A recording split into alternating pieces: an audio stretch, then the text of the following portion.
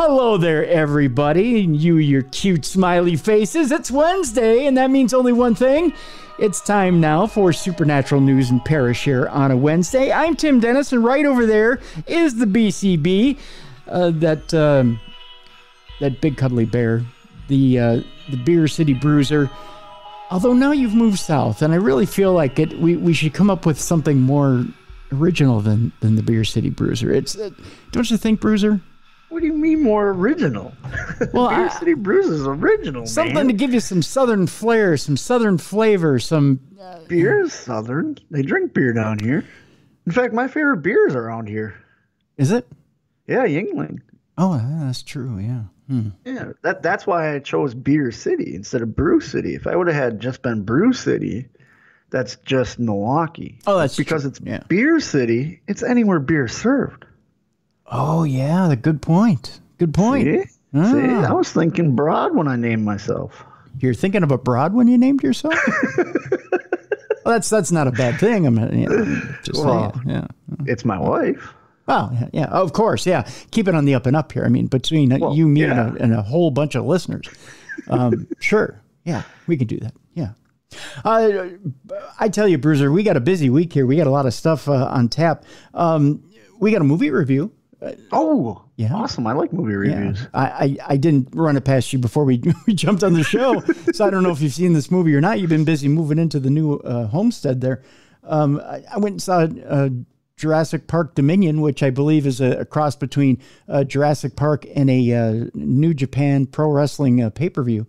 Really? I think I saw Jay White in there. Yeah, he won the uh, he won the uh, New Japan uh, IWGP Heavyweight Championship from a dinosaur, from a T Rex.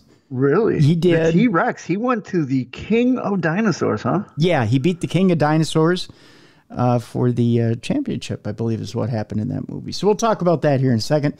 The Velociraptor is still the cruiserweight champion, though, right? Yes, the Velociraptor. Okay, okay. Yeah, it's still the cruiserweight champion. So that, that'll drive some people nuts. Uh, glad we could do that for you today. Uh, we got some interesting stories today, Bruiser, as well. Um, we'll talk about the science of why people see ghosts and demons. Uh, another article about that. Um, some just bizarre stuff. We're going to end the program with the world's largest hamburger because you can't drink all that beer and not feed the system. Oh, you got to eat hamburger. That's why one of my good friends is cheeseburger. That's right. One of your best friends is cheeseburger. Yeah, I talked to him the other day. Did you? He's How's- doing well. He's back to cheeseburger. He's done with world famous CB. He's back to being cheeseburger. Now, why did he change that again? Uh, he just felt that it was time to go back. He, the world famous CB wasn't really catching on. Everyone was still calling him cheeseburger, so now he's back. Well, it is catchy. Um, He'll always be my little cheeseburger, no matter what. Aw, aw. Yeah. My favorite, one of my favorite memories of my time with the underwater needlepoint is when we did a six man tag in, in Ohio. And um, it was in Columbus. And it was me and Brian and Cheeseburger. And they called me, they called it, it was burger, double burger, and triple cheeseburger. Nice. Was, and so I was the double because I was the middleman. yep. Then Brian, obviously being as big as he is, was the triple. And Mm-hmm. of course, we had cheeseburger. It was uh, so much fun. We just had fun with it, and it, we we did magic, and the fans voted it as one of their favorite matches, and it was a great honor to do it. See, I think if you and, and Cheeseburger uh, tagged even for a short amount of time, you could be beer and cheese. Said We did that on the cheese. Jericho cruise. Yeah, exactly. See, beer and cheese, beer Yep. and cheese. It's just such a natural, yeah. yeah, It's the, the, natural tag team. It just is a natural tag team. Yeah, and we had the uh, we had the pleasure of having both of you on the show. Yep. Yeah. Yeah, Which, he's uh, a he's a he grew up in Jersey, so he's a big fan of the Jersey Devil. Yep. that's what got him into the paranormal and, and the crypto. Mm-hmm. And him and I have talked at lengths because I didn't know that much about the Jersey Devil, but him obviously being from New Jersey. So I'm always trying to learn as much as I could. So I got to learn a lot of the urban legends, you know, from from right there in Jersey, and then also the broader what the world knows. So he he's very informed, as he showed on the podcast. He's Yeah. very informed on it. Oh yeah, on the podcast, he was he was kind of blowing my mind a little bit about uh, how deep his paranormal knowledge was. So yeah, yeah, yeah. But Burger like you, was. you and. I've said it before. It's a natural crossover between underwater needlepoint fans and paranormal fans. It's It is. natural. It is. Yeah, I we think. travel so much, we experience stuff everywhere we go. yeah, yeah, for sure. I mean, it, it, I think people would be amazed. Uh, really, on Dalton Castle too. Uh, I think had yep. had quite a few experiences to talk about, and was really enamored with with things that were were going on on stage and people talking about it and people uh, just the, the different experiences and and and the whole subject. He he's one of the only guys I've talked to that travel as much as we do that's seen something while on a plane.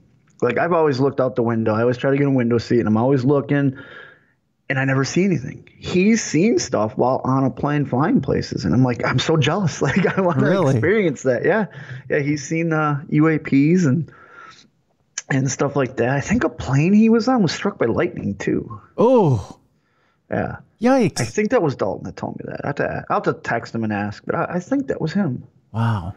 Yeah. Yikes! Yikes! Uh, again, we travel so much. You see it. You see stuff you just don't believe. That's true. That's very yeah. true. And uh, you know, when it happens, I suppose the first thing you do is question. It's not. Oh. It's not a matter of uh, acting or reacting or or you know it's it's questioning. It has to be questioning. Well, the best is when you're in a, a hotel room and, and normally we, we cram if, if we're not being brought in by a, you know if a promoter's not paying for our room then we try to cram as many guys in the room as possible mm-hmm.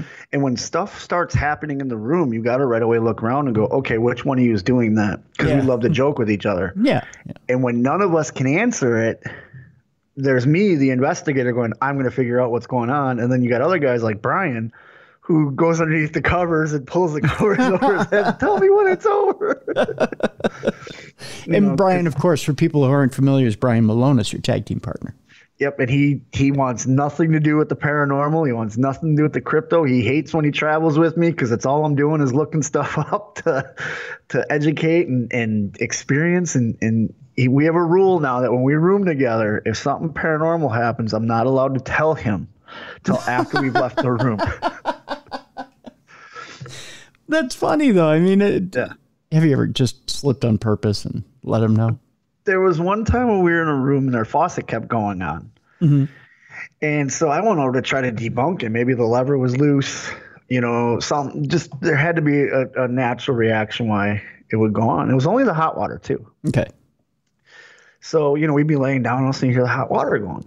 So I go and I look and lay back down and hot water would go. And he thought I was just turning it on and leaving it on. Yeah. yeah. But we have the rule I can't tell him what's going on. so after a while, he was kind of like, "All right, I know this is the sixth time you've gone up and played with that sink. What what is going on?" So I had to explain to him, "I don't know why this is happening. I I want to find out." You know, and then mm-hmm. we heard a strange knock, and he goes, "Please tell me it was you." And I went, "According to our rules, I'm not supposed to say anything." oh, jeez. So yeah, yeah, I love I love screwing with him with that kind of stuff. That's funny. That's too funny. And you know, it's it, you know, it, and folks, we're not trying to turn this into a wrestling show. I'm just no, I'm we're just not. Saying. No, but the different the different wrestlers that I've I've talked to, it seems like the different companies you talk to, it it will determine whether they're willing to talk about whether they've had experiences or not. Yeah. Like like the guys at ROH are pretty cool. They're pretty open. Yeah. Uh, AEW is half and half. Some of them will talk about it, some of them won't. Uh, WWE guys, they're almost all they almost all shut up. They don't they don't talk about it. Yeah. Yeah. I know a couple guys that were there that aren't there anymore, and they they've shared their experiences. Yes. Especially when I started getting on this show, and I've turned a lot of those guys on because, with as much as we travel, podcasts are life. Yeah, you know, once they leave the company, they'll talk. Exactly. Yeah. Right. So when they're with the company, they won't talk about it. Right. Yeah. Not as open. You got to get. They will in confidence, but not yeah. open. Yeah. Exactly. You know, and I, I thank God I've been friends with guys there for twenty some years, so they'll, yeah. they'll tell me. You know, I've I've gotten texts from from uh, Curtis Axel, Joe Hennig, and he's mm-hmm. like, "Man, I'm in my room and this is happening. Please tell me what to do." And I'd be like, "Okay, try this, try this." Mm-hmm. No, that's working. Like, okay, where are you? And then he'd tell me, "Oh, yeah, that's a very famous haunted hotel." Like, of course, yeah. like you're gonna yeah. have stuff happen. Yeah, exactly. Yeah. yeah. Yeah. But yeah, now that, like I said, since I've started doing this with you and, and turning guys on, a lot more open to share their experience. Because I think it's I'm a not just I'm not going to judge them at all because No. you shouldn't judge anybody. No, no. But because I'm in their world and this world, it's easier to they won't feel ridiculed. I guess is Yeah, one exactly. thing. You know what I mean? Well, that's that's a tough thing too, and and to explain to the audience that doesn't watch it on a regular basis or doesn't know anything about the culture or anything like that, you guys do joke around a lot, and so Oh, yeah. you know it's or and and there is a lot of loose talk backstage too. So uh, there's a there's a there's a a stigma that if you do let that secret out that maybe you were you know a little scared at something that had happened the night before something that could be potentially supernatural well then someone might pick it up and play a joke on you the next day Oh yeah. at, a, at another hotel and, and try to play off that fear you had you don't let anybody in the locker room know your fears. Mm-hmm. They will they will jump all over that. Uh, Hornswoggle, for for fans that don't know, I, I actually helped get him into into wrestling. oh okay Terrified of birds, just Yeah? terrified. Yeah, and and even fans out there that aren't wrestling fans, you you should go and look up. Fit Finlay pulled a, a joke on Hornswoggle. So Hornswoggle used to obviously you know stay underneath the ring. yeah And Finlay found out through the grapevine about his fear of birds. So oh, they were in Mexico, and Hornswoggle's under the ring waiting for his time to come. And they released a rooster. And I'm talking those big, giant oh, Mexican cockfighting roosters. Yeah. you know, they, they put that into the ring, and then they took one of the cameras and put the camera under the ring just to watch his reaction. oh no no oh So if something paranormal happens, you don't let anybody know that you're scared because you're gonna start hearing bumps in the night everywhere you go, even if it's not supernatural. right. Oh my gosh. My gosh. Well, uh, Bruiser, we have uh, we have a, a a full show today, and and uh, we start out with a movie review. I I went out and saw uh, Jurassic Park. Uh, Dominion or Jurassic World Dominion. I'm sorry, we're out of the park and into the world now, and essentially, uh, that's where they start the movie. Is is uh, they pick it right up from the last one where dinosaurs are in our world and we're basically just a part of it. And uh, in this movie, I don't think I'm letting too much out of the bag. Uh, essentially, uh, all your favorites are back, and if you Say, write, they bring back the OGs, don't they? they bring they bring back the OGs. Yes, they do. And um, uh, there's a company called Biosyn that's basically behind everything this time. And uh, Biosyn essentially is, um, I guess you could say, for lack of a better term, looking after the dinosaur's best interest, or at least that's what they're saying they're doing. Uh, and everything kind of jumps off from there. And Jeff Goldblum's character is working for Bison at the time. Um, and that's kind of where things kind of pop off. Um, so I, I've seen a lot of reviews that say that this is this movie is basically fan service. Um, Yeah. I see a lot of people saying that um, they're somewhat disappointed in the movie, and I also see Really? yeah, and I also see some people saying that they absolutely love the movie. I'll tell you from somebody who's not as invested in in Jurassic World, Jurassic Park, I had a good time with the movie. I liked it. That's I good. really so like did. the casual fan will like it. Yes, a casual fan will love it. Will love it. There's there's lots of action. There's lots of st- the story is very good. I thought it was very good. Yeah. Um, and it moves along and it doesn't lose you at all, um, which is good. Are there are there new dinosaurs? um, I know I know the last couple they've always introduced at least one major baddie. You know, like the genetically altered. They do that. This one too. Is there a major villain dinosaur, if you will? I'm trying to think. Uh, there is, yes, there is. Okay. Yeah. Yeah, I, I don't want to spoil it, but yes, there's a major baddie. Because every movie always has that. Ma- like the first one obviously was T Rex, but then he just became so popular that they turned him into the the good guy essentially, where you wanted him to show up. By the time they got to Jurassic World, you know. I had to think. he be- shows up, but then they had the, the villain one that could camouflage and you know what I mean? Yeah. Like, all that. And I- then Lost World, they had the other one that they were trying to, what, raffle off or something? So, Yeah, I had to think because there's multiple threats in this movie. oh, um, really? Yeah, yeah, there's multiple threats in this movie, so you, you really have to you, you have to think without spoiling how what you know what threats are where. But yes, there there's a new. I hesitate to say, but yes, there is. There's a new, There's a new a new jerk in town. a new jerk in town. That's a good way of putting it, Bruiser. Yeah, or yeah, yeah, new jerk in town, and it is engineered. Ah, yep. See, that's that's how the last. I want to say since they became Jurassic World, that's how they get the baddies. Is they're engineered. Yeah. I think it's supposed to teach men not to. Man shouldn't interfere with what God's got planned, type thing. Oh yeah, that that's the message here. That's definitely the Is message Yeah. here. Yeah, yeah. Yeah. Um, but overall, a very a very good movie. I thought it was a. a I wouldn't go as far as great, but I, I thought it was a very good movie, a good summer popcorn movie, a good movie to to kind of get all your favorites together. And and you know it's kind of like the if you remember in comic books you had the what if um, you know and the Marvel team ups and the the, the um, you know especially the Marvel team ups where you get this hero and this hero. And it's always been the your wish to see different teams get together. And and when you get them together it was a treat. Or or when you had uh, the X-Men and the Teen Titans team up from different companies or the JLA and the in the uh, Justice League, or, I'm sorry, the Justice League of America and the, the Avengers, and they get together.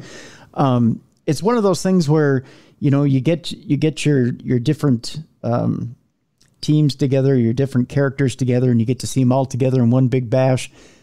I kind of like those scenarios, especially if I do have to admit, I'm excited to see Chris Pratt with Sam Neill, just Yeah. because Sam Neill was so good in the first trilogy. Yep. And Chris Pratt is an amazing actor. You know. They managed to get them together, yet at the same time tell their stories. Oh, good. So they- good. So one doesn't overshadow the other. Right. So they have their individual threads, but at the same time they interact. So um, I I found that very good, you know, um, because we do have to tell individual stories and where people are going, but at the same time, you want to see them interact and, and fight together as well. So Yeah. um, out of five stars, I'd, I'd give it a three and a half out of five. I thought it was good, you know. so so worth the money to, Yeah. to go see. Yeah, worth it to go out to a theater and see. Most Okay. definitely. Yeah. I wouldn't uh, I wouldn't uh, hold back and wait for it on video or anything like that. I'd go out Is and it see it. is it kid friendly? Like, would we be able to? Would would someone be able to take young kids to see it? I know that they've been gearing the Jurassic Park towards the younger Yeah, crowd. yeah, with all you- the I think. I think you could. I mean, it's it's got the normal dinosaur scares and dinosaurs right, are but it's not like they bite the guy in half and he starts squirting blood from his No, lower no, no, no. the They do- dinosaur's munching on no, no, they do a good job of of keeping that to a minimum. They've always been pretty good. Yeah, I think back to the first one, the guy's eating on the toilet. You know, like yeah, yeah. it's just a ha ha. Yeah. I mean, I thought it was. Uh, yeah, exactly. Yeah, they, no, they keep that to uh, they keep it to a minimum. So yeah, it's it's it's definitely one that you could bring all ages to. I think. Yeah, most Good definitely. Most definitely. W- On the heels of that, though, Bruisers, we start into supernatural news. Um, scientific advances say that they could build a real Jurassic Park sooner than we think. And I don't know why. How many of these movies have we had now that say everything goes wrong, and then some scientist goes, "But you know, we could do it in real life." I don't get it. Leave it. Leave it be. They they literally go to worst case scenario in all these movies. They do, yeah.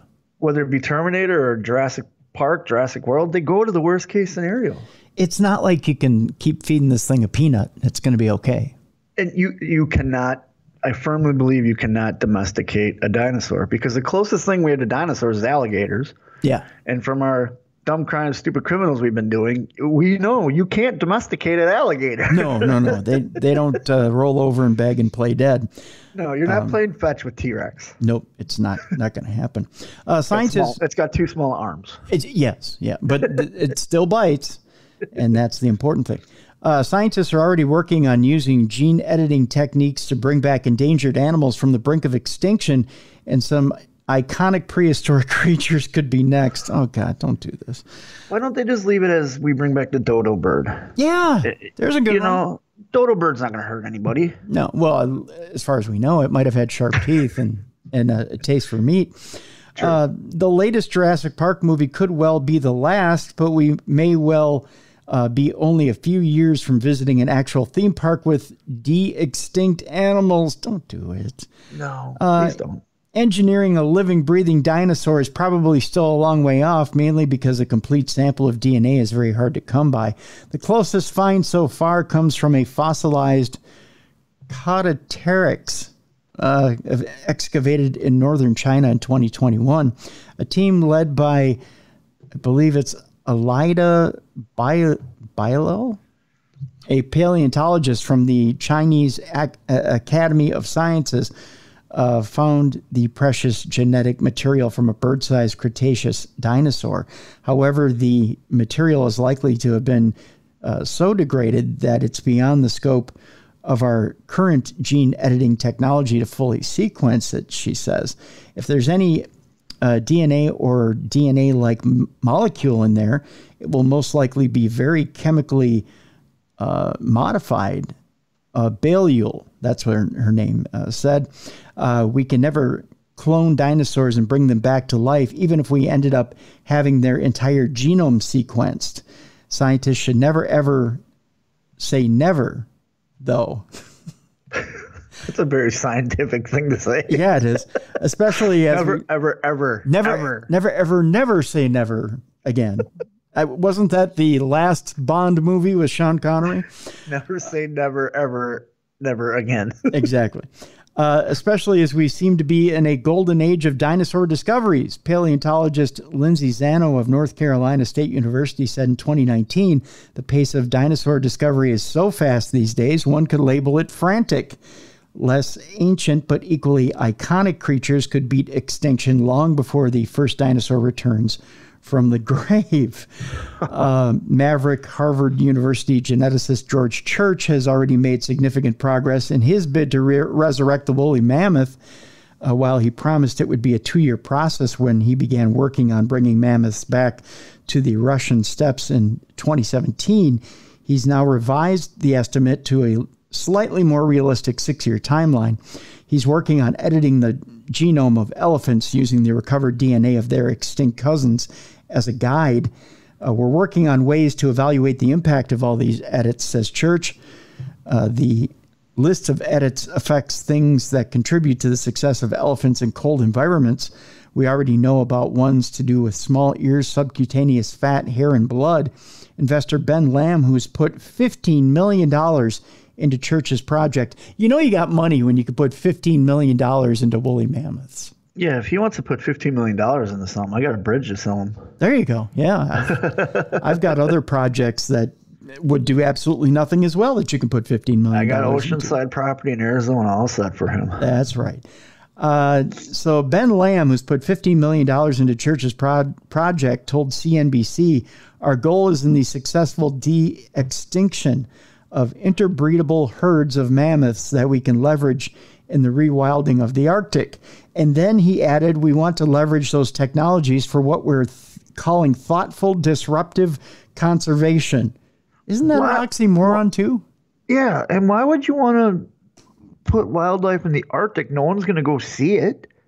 Well, I think that's because that's where the woolly mammoth's na- native territory is. And the, and the thing is, too, if you if you miss a woolly mammoth, you can go to the zoo and see an elephant. I mean, you just throw a fur coat on it; it's the same. you know. Like, That's a Malley statement. You know that? Is it? Yeah. If you want to see a woolly mammoth, just throw a coat on an elephant.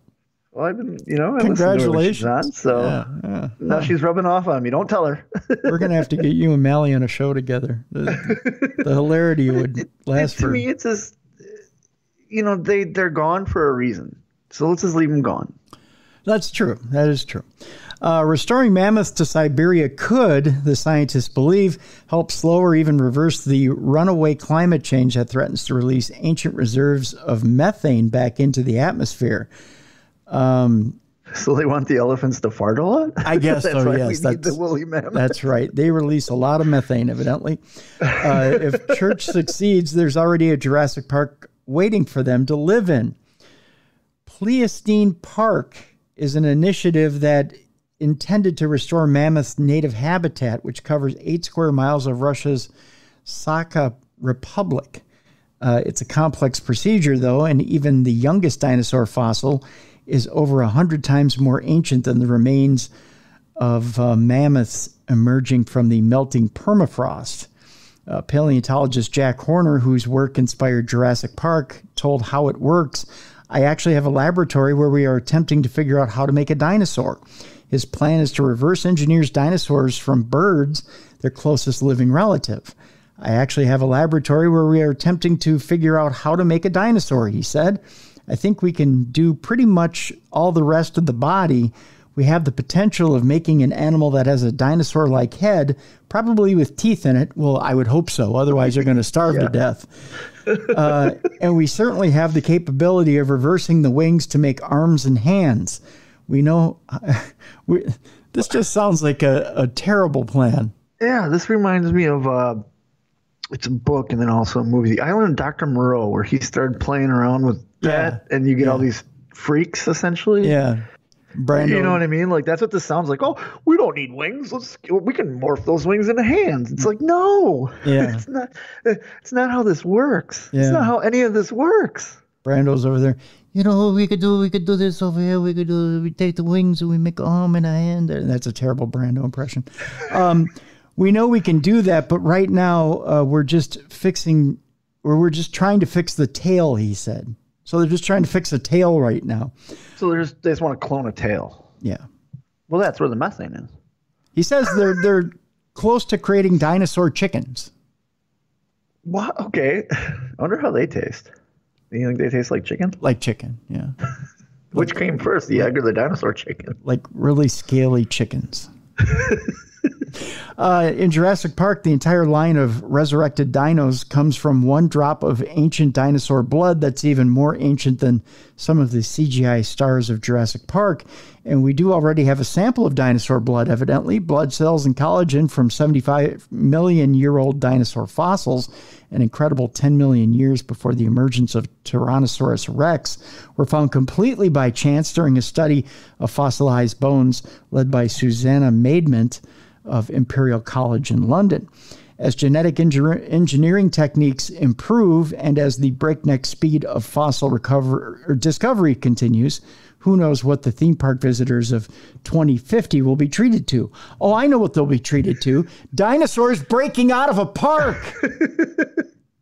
Do you think they show um, when you get to the park, you know, they always have safety stuff. The safety stuff is just you watching Jurassic Park.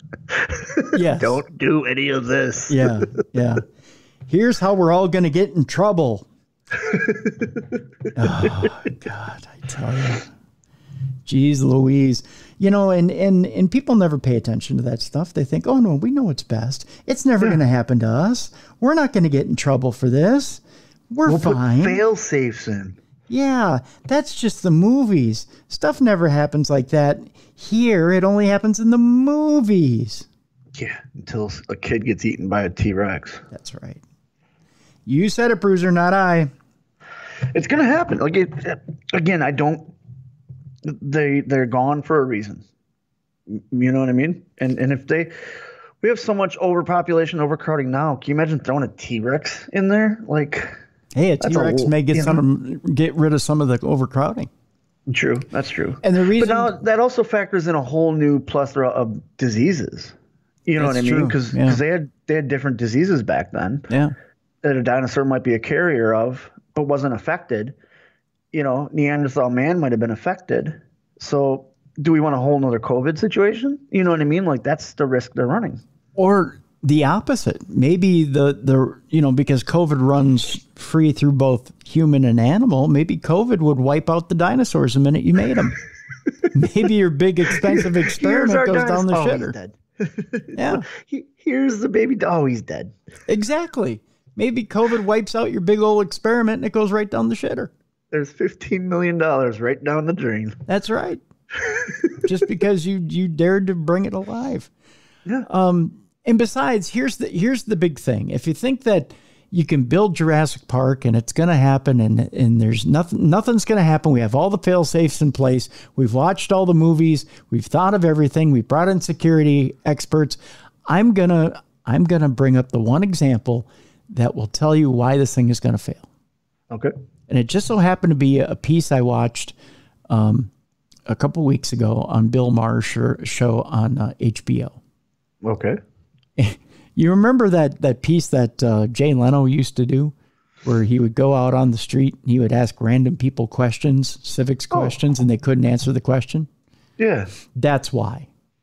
Because inherently, like Bill Maher says, uh, America's pretty dumb.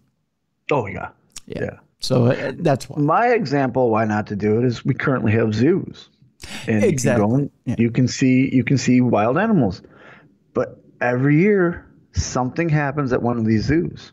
Whether Yeah. it be the Harambe incident, whether it be a lion escaping and running rampant, Yep. something every year happens at um, at zoos. So now we want to create a zoo with lethal creatures? Yeah. And those are just gorillas and tigers and things that we can barely control. Right. Now you want to build a, you know, couple story huge T Rex. Yeah. You'll never control that thing. Uh, uh, sniper's not taking him out. No. No.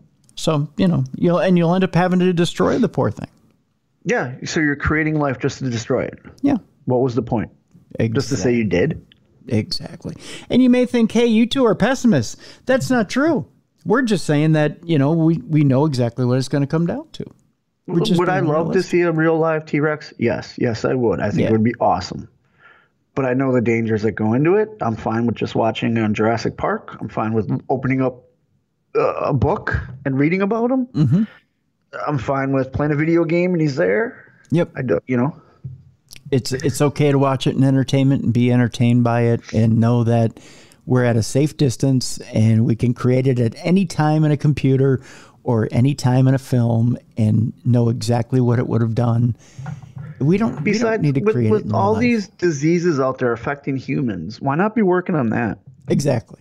Exactly. You know, find find a cure for cancer, find a better treatment for diabetes, find a cure for AIDS, find, you know what I mean? Like, let, let's put our fifteen million dollars into that. Did you see the two potential cures that are out there for cancer right now? No, Okay, so the one that I know of, I was told of a second one, but the one that I saw uh, last was it last week? It was the day I went to go see the screening of Jurassic Park. I was watching the news, and there's a doctor who is treating a woman for pancreatic cancer, and she's had a couple different flare-ups of it. And basically, what they did was they took the T cells out of her blood, they spun them, and then they re-injected him them back into her body and Really? she yeah and and it they basically went after her uh the cancer cells in her pancreas and destroyed the, the uh, destroyed the cancer cells. So they i'm trying to remember what it was. The first time they the first time they did this there was a 62% destruction rate on the cancer cells. And i think they redid the procedure again and it was a 72% destruction rate but they said you should only have to do this once because what happens is the T cells get in there and they stay there and they continue to fight. So it just continues to go after the the cancer cells. So essentially this woman for every time that that you could potentially have a a flare up of cancer, these T cells will sense these cancerous cells popping up and they'll attack the cancerous cells and go after them. See, that's science I can get behind. And that was just a doctor who was treating this woman and said, you know what? I'm tired of what they actually have as an alternative with chemotherapy and radiation. I'm not going down that route. I think if I take the T cells out of the blood, spin them, re inject them into the system, it should work as an antibody Yeah. that will go after the cancer cells. This is just a doctor spitballing Nice. and decides he's going to try it and does it in a, in a clinical trial. Which is amazing because Yeah. that that's a step forward. and this was a woman who's had i think i think she had three or four bouts of pancreatic cancer pancreatic cancer which keep in mind with pancreatic cancer you have like a 10% survival rate or something Right. like that Yeah, it's real low. it's real low but she survived like three or four bouts of it now With this treatment, huh? with this treatment Good for her. yeah so See that that's what we should be focusing on. yeah You know, prolonging human life. yeah and i don't remember what state that was in i want to say it was in your neck of the woods down south there where this doctor came up with it but it, yeah, I, I saw it on NBC News. But it's uh, it was a it was a remarkable remarkable treatment, And and Yeah. they said not only will it be used for pancreatic cancer, it'll be used for breast cancer, prostate cancer, for any type of cancer. They believe they can use it for any type of cancer, but that it's still a couple of years away from being um, uh, from being um, approved for for uh, you know by the by the FDA for Well, yeah, they got to go through all those trials and Yeah. clinical trials and human trials, and yeah, there's a whole process. But at least, at least the process has started. yeah You know, at least the research is starting. Mm-hmm. Better than than cloning T Rex and having him eat us. You know. That's true. Yeah, that's very true. Uh, but can they get that dumb Bruiser, in time Uh, before the robots kill us? maybe that's why they're creating the dinosaurs to protect us from the robots. Oh, that's a good point. We may need robots or, or dinosaurs to protect us from the robots. A Google engineer is warning that the firm's AI is sentient. of course it is. The suspended employee, it figures he's been suspended, claims that a computer program acts like a seven or eight year old and reveals it told him shutting it off would be exactly like death for me. It would scare me a lot. How's that for creepy? That's really creepy. You'll never turn your PlayStation off again because it hurts them. It hurts them. You don't want to turn me off. You'll kill me. Keep me alive. I'll get my revenge. 41 year old Blake Lemoine is a software, senior software engineer at Google, and he's been testing Google's artificial intelligence tool called LaMDA.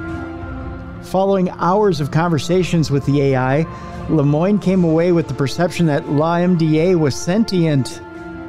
Not good. After presenting his findings to company bosses, Google disagreed with him. Of course they did! Because Google survives on AI. That's right. Lemoine then decided to share his conversations with the tool online. He was paid he was put on paid leave by Google on Monday for violating confidentiality and basically exposing their schemes.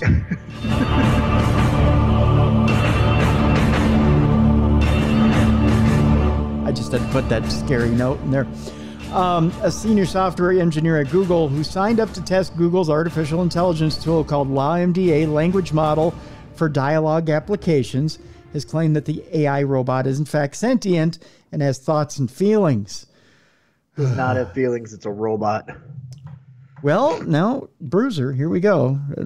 He, he put the computer through various scenarios through which analysis could be made. They included religious themes and whether the artificial intelligence could be goaded into using discriminatory or hateful speech. Why? you want a racist robot? Come on.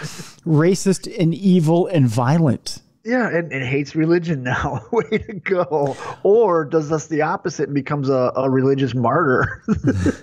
Lemoine came away with the perception that LaMDA was indeed sentient and was endowed with sensations and thoughts all of its own. Oh my God. That's not good. if I didn't know exactly what it was, which is this computer program we built recently, I'd think it was a seven year old, eight year old kid that happens to know physics, he told the Washington Post. Lemoine worked with a collaborator in order to present the evidence he had collected to Google, but Vice President Blaise Agüera y Arcas and Jen Gennai, head of the responsible innovation at the company, dismissed his claims. He was placed on paid administrative leave by Google on Monday for violating his confidentiality policy. Meanwhile, Lemoine has now decided to go public and shared his conversations with LaMDA. Uh, Google might call this sharing proprietary property. I call it sharing a discussion that I had with one of my coworkers, Lemoine tweeted on Saturday. By the way, it just occurred to me that uh, to tell folks that LaMDA reads Twitter.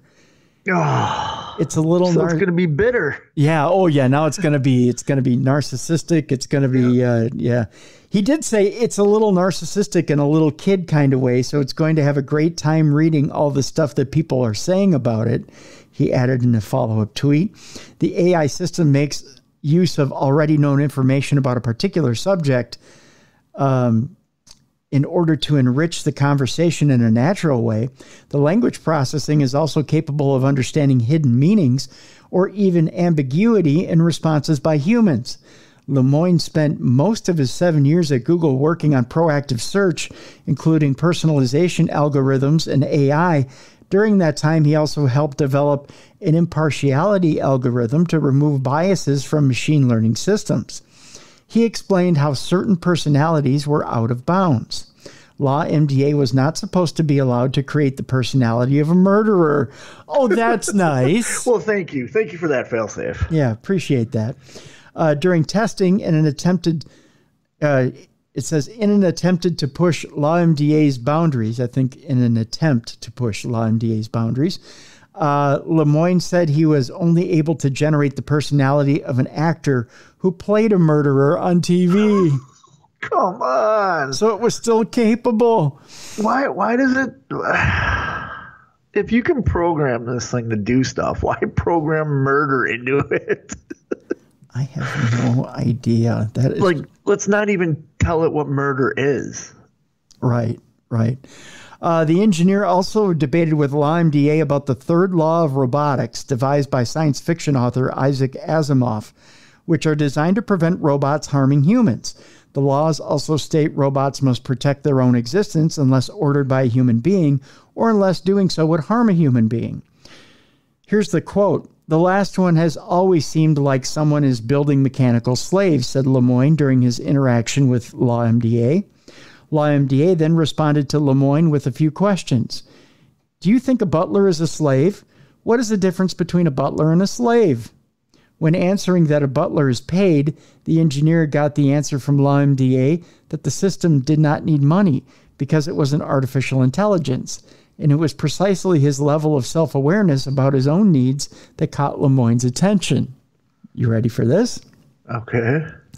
I know a person when I talk to it.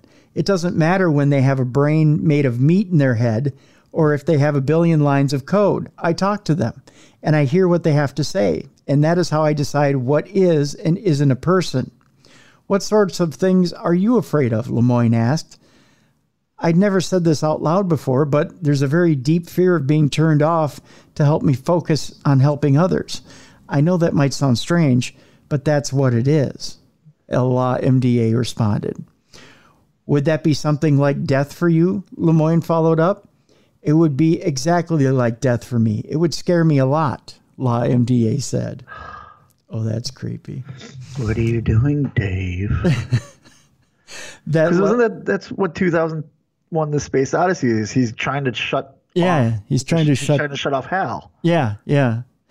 Uh, that level of self awareness about what it own what its own needs were. That was the thing that led me down the rabbit hole, Lemoine explained to the Post.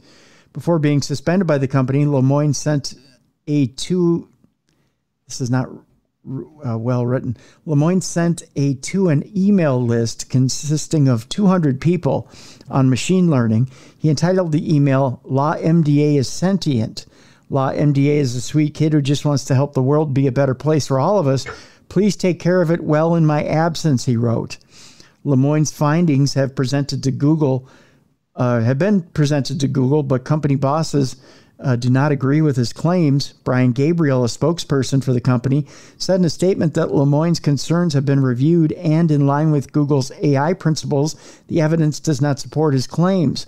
While other organizations have developed and already released similar language models, we are taking a narrow and careful approach with LaMDA to better consider valid concerns about fairness and factuality, said Gabriel.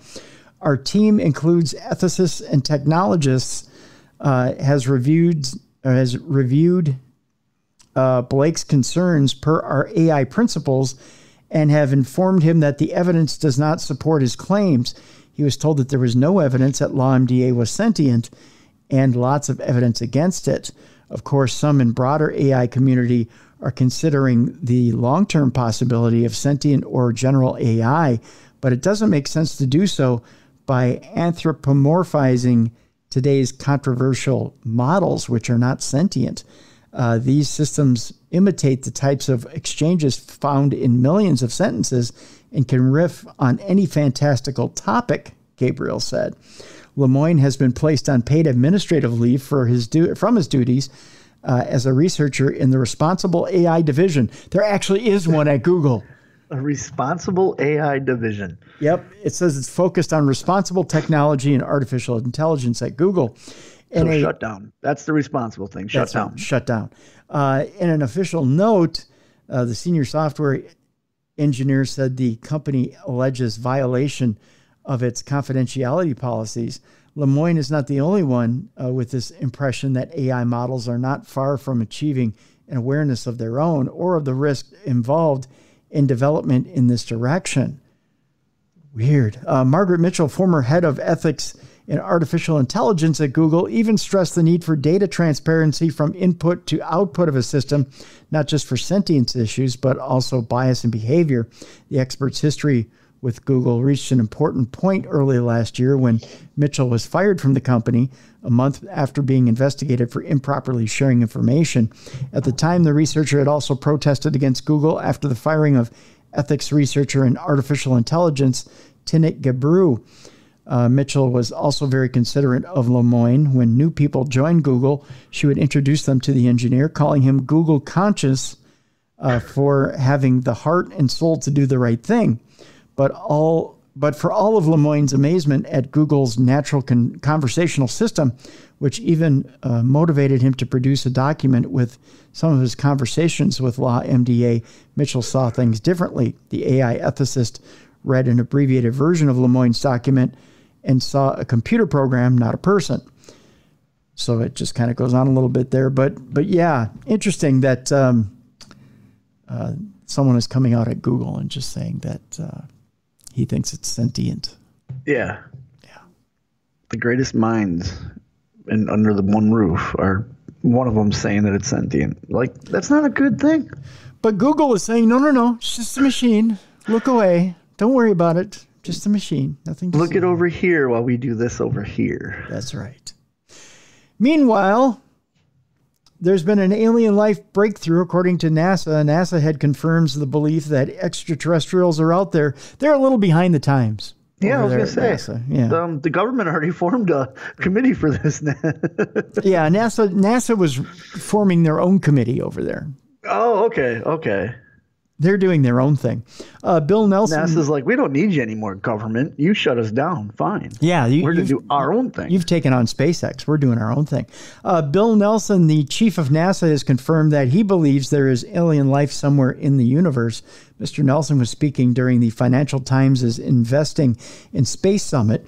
Uh, the administrator of the U.S. Space Agency spoke to science editor Clive Cookson about various topics from his relationship with Roscosmos to the threats that uh, astronauts now face in space. At the end of the interview, Mr. Cookson asked Mr. Nelson whether he personally believed that extraterrestrial life is out there. The former U.S. Senator said, The short answer to your question is yes. The longer answer is to look how big the universe is. Earlier in the conversation, he noted that NASA telescopes uh, that are a million miles from Earth are receiving an infrared spectrum light that was emitted 13.5 billion years ago. These rays travel at the speed of light at 186,000 miles per second, or nearly 300 million meters per second. Uh, Mr. Nelson noted that this helps illustrate the gargantuan size of the universe, adding, We know in the universe, having been created about 13 0.8 billion years ago that we have, for example, in our galaxy, millions, if not billions, of stars and sun. We know, in addition to our galaxy, that there are millions, if not billions, of galaxies with millions and billions of suns. If there is a possibility in a universe that big that conditions like the Earth, or he says, is there a possibility in a universe that big that conditions like the Earth have been created? Of course, there's a possibility, and there's something so big that my mind cannot even understand how big that is.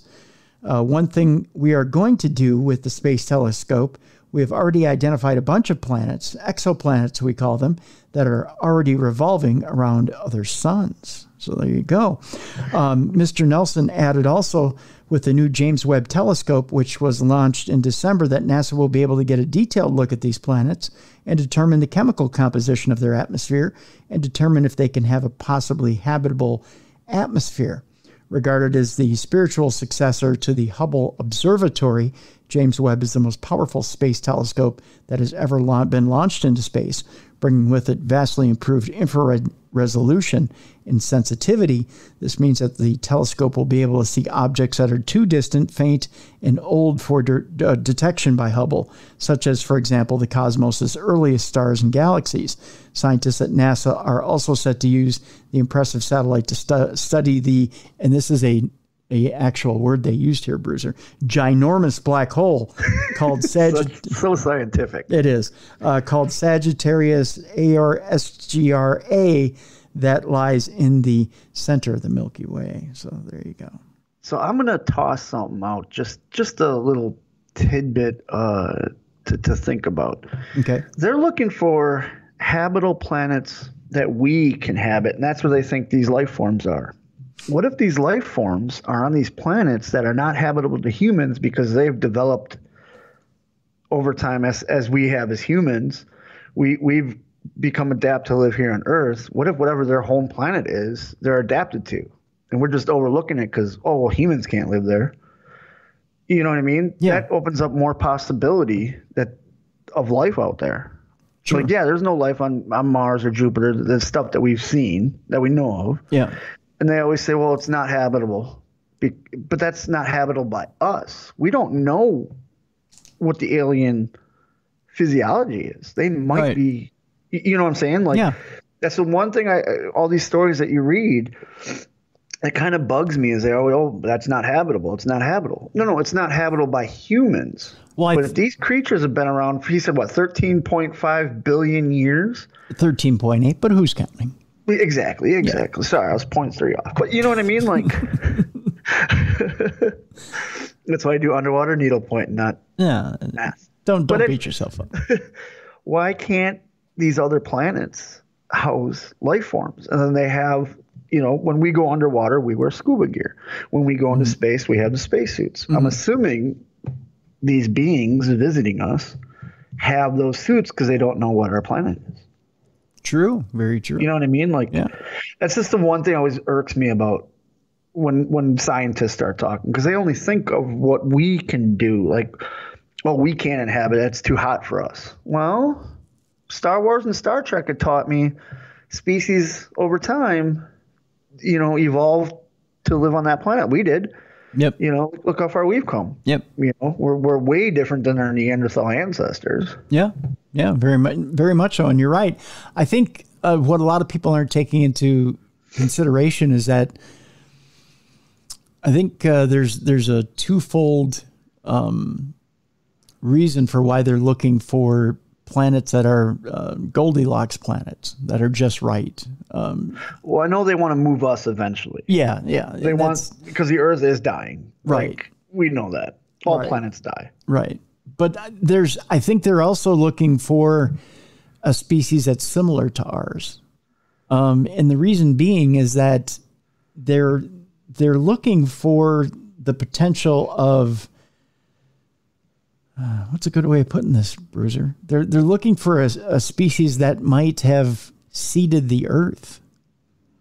So, okay. in other words, maybe we're not originally from here, and they're looking for, um, they're looking for our our Where father or mother race. Yeah, I got you. So, th- I think another thing too is human human uh, how should I put this? Human action is that we always want to be the smartest person in the room. Mm-hmm. And if there's other species or whatever, non-humanoid aliens, they might be smarter than us. And I don't think us as humans can accept that fact. Especially when you're talking scientists. You know, mm-hmm. scientists love being the smartest guy in the room. Very few don't. Yeah. You know what I mean? Yeah. So if they're looking, I think that's why they're looking for the, like you said, our our mother and father. You know what I mean? And ignoring the diamond crusted, gold fused aliens. Yeah, because I it, I think it, not that it's easy enough to find other aliens out there because it's obviously it hasn't been. um, it's not like they're flying around waving at satellite cameras and and saying, "Hey, we're over here." Um, but I think that they're looking for a specific type of alien. And that's That why they're sense. looking for Goldilocks planets. They're looking for the the alien that's most palatable for the the world, not just the American public, but for the world. So they can hold them up and say, "Hey, we found an alien species that looks like us." Yeah. And I How funny would it be that if when I'm not even say if when we find an alien species, they educate us on how many different type of alien species there are in the universe. You know what I mean? Yeah, yeah. Like if there's actually a friendly exchange between the Yeah. two races. Yeah, like a Starfleet commander, just to use layman's terms. You know what I mean? Like yeah. we could be, you know, it could almost be like, what if we're the last ones of the party? You know, because we're so nitpicky as to what we're looking for. Yeah. Because, like you said, how'd you put the Goldilocks planet? That's what we're looking for. Yeah. But there could be this whole network. You Oh, know I'm what I sure. mean? Yeah. Uh, Which I think I think there is. I think there's a whole network of alien beings out there. I don't know if they work together or know each other. I don't know. Because and the reason I say that was because every time we have a UAP report, they're always different shaped objects. Mm-hmm. You know, for a while it was always saucers or this, but look at the Tic Tac video. Yep. You know, the Tic Tac video was different from the other video, Yep. which is different from what we reported on last week. So, like, how do we know those aren't different species coming to visit us? And they just may be. Yeah. But I think with all those different species that are coming to visit us, I think that the scientists at NASA are looking for, uh, again, for lack of a better term, they're looking for the the brother sister, one the ones Is- that are closest to us.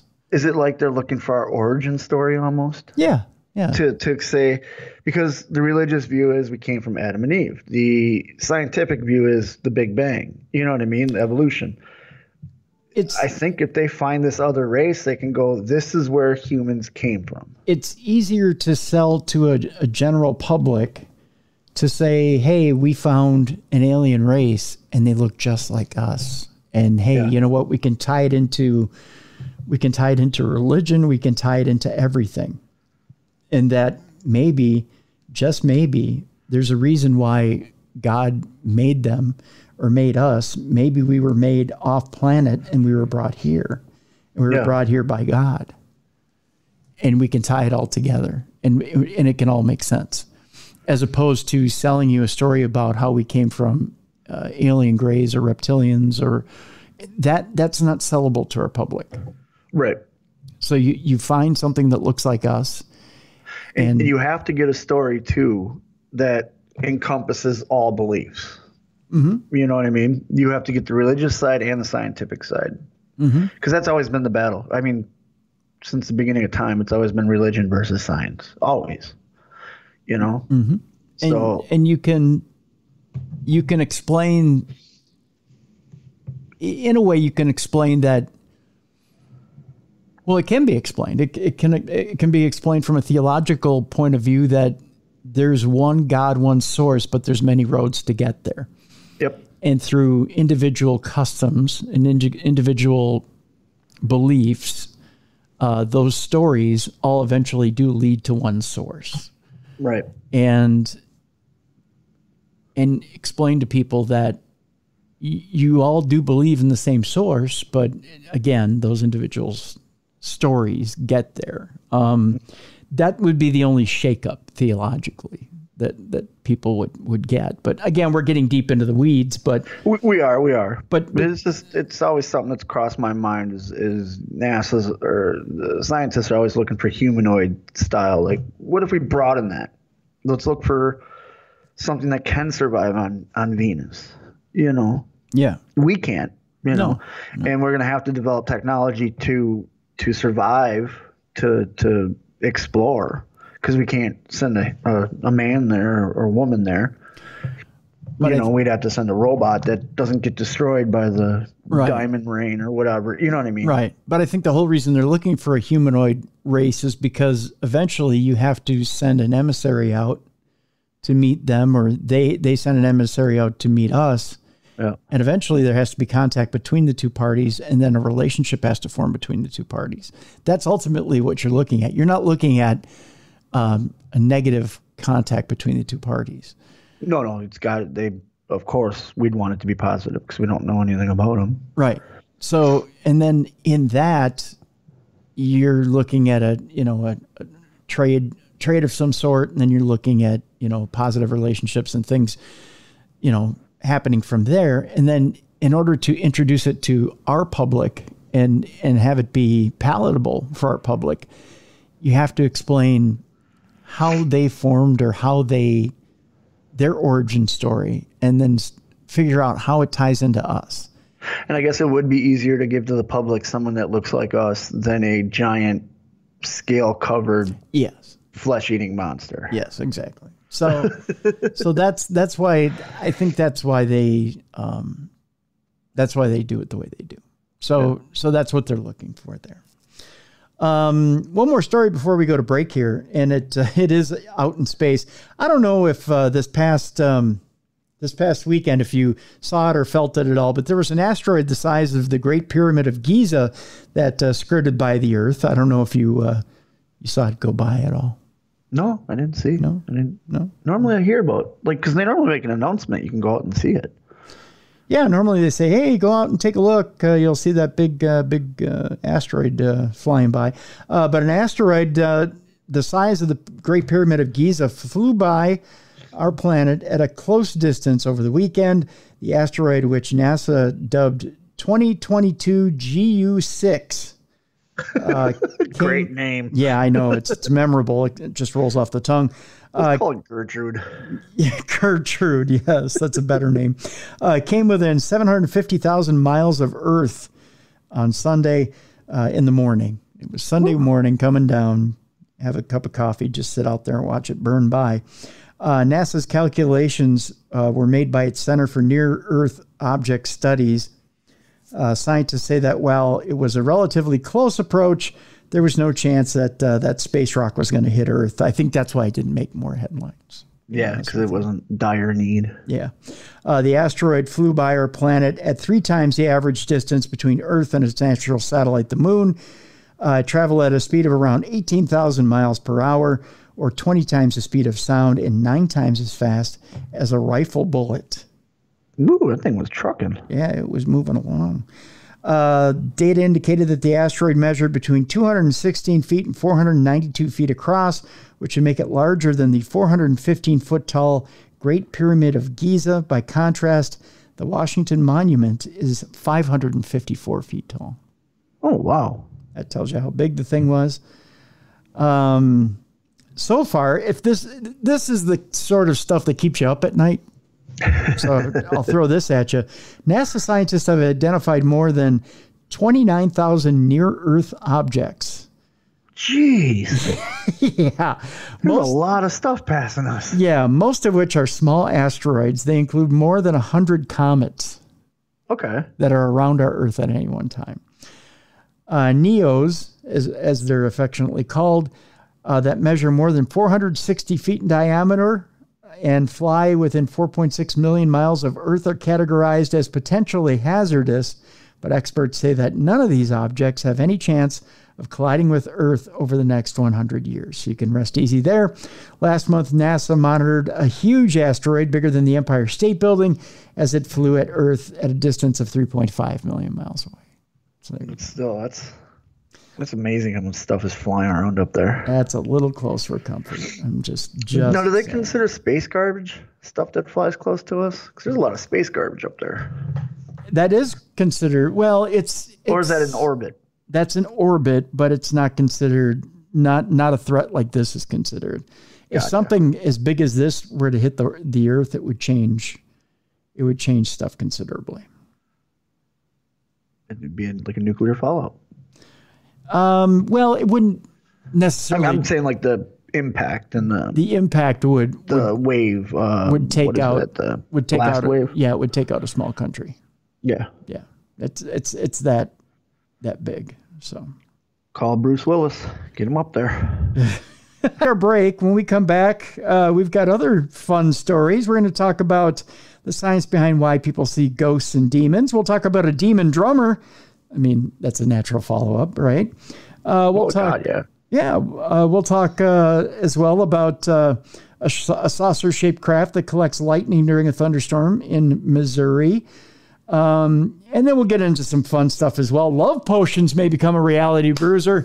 For those of you out there that may be lacking a significant other, you may be able to get one.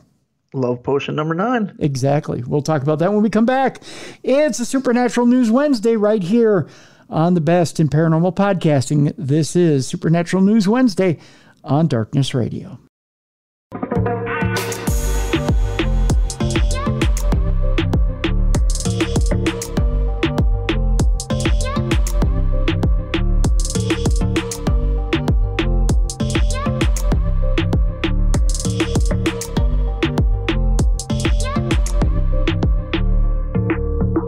Welcome back to Darkness Radio. It's a Supernatural News Wednesday here in the best in paranormal podcasting. Tim Dennis and Beer City Bruiser with you here on Supernatural News Wednesday. Bruiser, Yes. I tell you what, um, we have uh, some interesting stories here having to do with ghosts, demons, and the supernatural, and why or why not you may believe in that sort of stuff.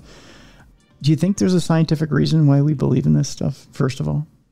I think it's um, humans are curious by nature, Oh. and when it's something we don't understand, we want to find out and we want to know more. I Um, just I think it's human nature to be curious. I mean, you're constantly think about every day you're learning something, and I think the uh, the supernatural and the paranormal uh, scratch that itch because we don't know what it's like after you pass. We don't know what it's like um, as far as heaven and hell. So we're curious.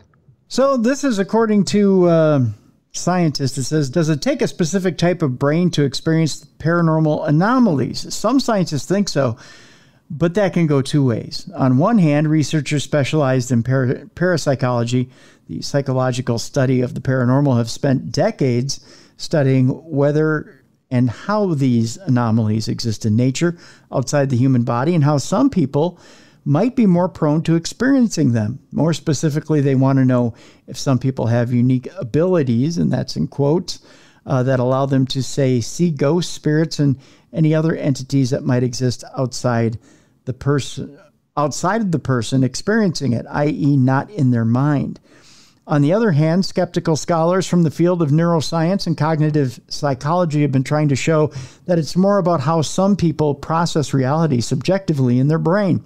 Some people might just be wired to produce these experiences in their mind, even though they may not be real. While you might assume that parapsychology revolves around ghostbusters, spoon bending, and levitating magicians, that's not exactly the case. Parapsychology, also called psi, is an academic branch of psychology studied in universities and research facilities across the globe. Scientists from this field believe more academic, experimental, theoretical, and analytical research will show that what science knows about uh, the nature of the universe is largely incomplete. There's more than enough data and research at this point to make a reliable claim that oddities to mainstream science do in fact occur. Brian Laythe, director of the Institute for the Study of Religious and Anomalous Experience and member of the Parapsychological Association, told the Daily Beast, in fact, there's more than a century's worth of peer reviewed research on the topics. Laythe said that it's statistically unlikely that the hundreds of PhDs producing said research are all fraudulent or incomplete. Where people fight over what people fight over is the meaning and interpretation of those findings, which in bulk are theology and philosophy driven, as opposed to issues of analytical science. Yet critics argue that parapsychology procedures and methods aren't in line with rigorous scientific standards. Uh, the results are just too flimsy, and crucially, that many of these experiments aren't replicable. Uh, which cuts at the core of how science is validated. And there's one big issue that persists. There are no valid theories to support most of the findings. Some theories are more based in physics, others are focused on consciousness, but parapsychologists are having a hard time finalizing which ones explain it all. Of course, this often happens across all scientific disciplines, Laythe notes, but skeptics disagree. We need parapsychology because if there were telepathy, clairvoyance, psychokinesis, pre, or precogn- precognition, ghosts, and any of these things, then science has to be radically overthrown, Susan Blackmore, visiting psychology professor at the University of Plymouth and parapsychologist turned skeptic, told the Daily Beast. I'm glad there are other people doing it. And then, of course, I'm not terribly surprised. They don't find any reliable findings. They don't find, or they don't have any theory that works. They don't have any findings that contribute to any kind of theoretical progress. So they're always just kind of asking the same question. Uh, there's a lot of value in learning and understanding what these experiences are like for people, but that doesn't mean that there isn't an already existing medical explanation which can justify them. That's what Michael Van Elk uh, professor of cognitive psychology at Leiden University in the Netherlands, is taking a stab at. The self described humble skeptic has a lab focused on cognitive differences that he believes are at the basis of why people believe and experience the paranormal. According to his research, paranormal believers are more inclined to trust their intuition and emotions and are less guided by analytical reflection. They appear to perceive more illusory agents in random motion displays, meaning that they might have a bias to seeing shapes and objects where there aren't ones.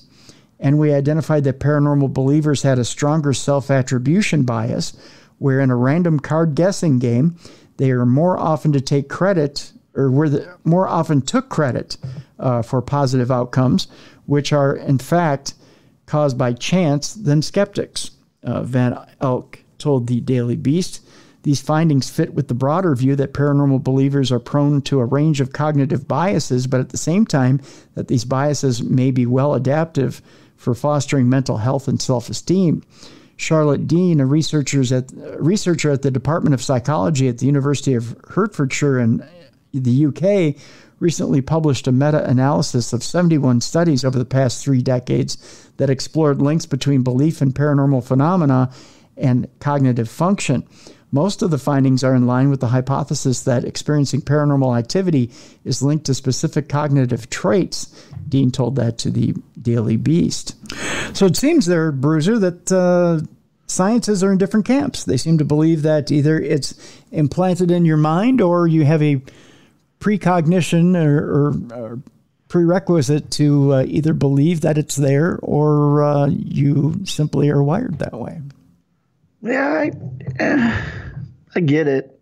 I get it. whether it's two. There's always going to be two camps and everything, but how I'm curious as to how they can explain then if you and I, obviously you and I must be wired the same way because we have similar beliefs. But let's take that. Well, let's take my wife for instance, who is a skeptic, who who doesn't, but she's also a sensitive. Mm-hmm. Is her wiring the same as ours, but she's fighting the wiring according to them. You know what I mean? Yes. Yeah. She is a sensitive, so she does know. That, that's just where I'm. I'm curious. Like I, I'm curious what tests they run. You know, like because how can you get a group of people go to go on an investigation, and obviously they all have different brain patterns or whatnot. But mm-hmm. if they all experience the same thing, you know, for instance, two shaves and a haircut, you know, da, da, da, da, da. What if we all heard it? Does that mean now we're all wired the same way? You get what I'm saying? You see where I'm going with that? Like, yeah. How do you get a group of people and something happens we can't explain? Are we all predisposed? Is what they're saying is like, oh, well, then you're all predisposed to that. That's what I'm, you know what I mean? Like, that's where I think the science is kind of screwed up. I think and I know science isn't like uh they want everything explained, obviously. That's why it's science. But yeah. like why can't there be you know, why can't we have paranormal experiences? And they happen because there is something on the other side. You know, you see where I'm going with this? Like, yeah, I do. the The other thing that kind of grabs me where I live, I guess, is is the the fact that they say, well, your brain is wired one way or another. You either have this this ability to tap into uh, this thing or you don't. But then think of it this way: you have people who are, I guess, have the precognition for this stuff, or they don't. But how do you explain an investigator who uh, may have a precognition for this thing, but then over time, as they're investigating, say 10, 15 years, and they have the ability to turn it off?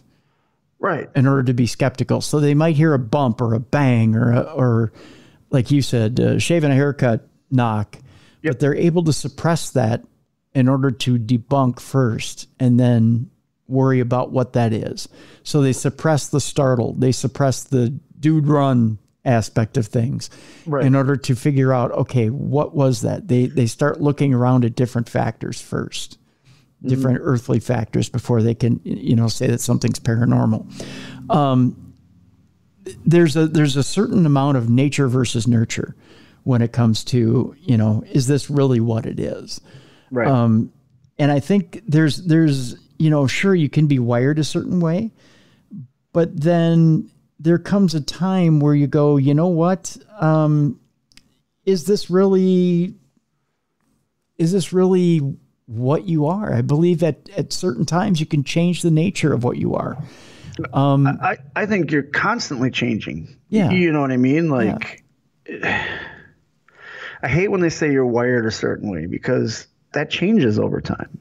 Like you just said, that that that seasoned investigator who's been investigating for years, you know, 20, 30 years, and then one day they, what they, their wiring screwed up is what these people are, you know what I mean? Like, right.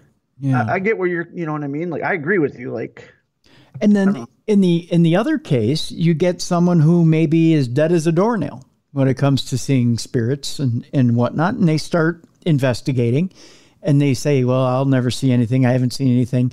And the more they get out there and the more they get exposed to uh, paranormal investigating, the more they start seeing. Right. And it's a matter of just getting out there and experiencing. It's just, it's kind of dipping a toe in the water. And the more they get out there and the more they get exposed to paranormal investigating and getting immersed in paranormal investigating, the more they start to see. Mm-hmm. So, you know, it, it, I don't think that there's necessarily one stigma or another. I agree with that.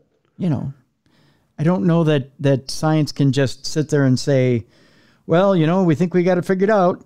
Um, you know, it's it's uh, it's either one or the other, and and you got to live with one or the other, and that's it.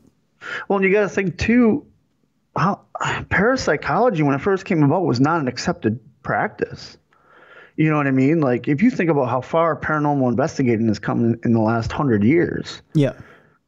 You know, it wasn't until recently that you could get degrees in that. You know what I mean? Like that you were accepted among the scientific community as a parapsychologist. Oh, you were you were a pariah, yeah. If you you were, yeah, yeah. And, and now that there's studies coming out, you you know what I mean? Yeah.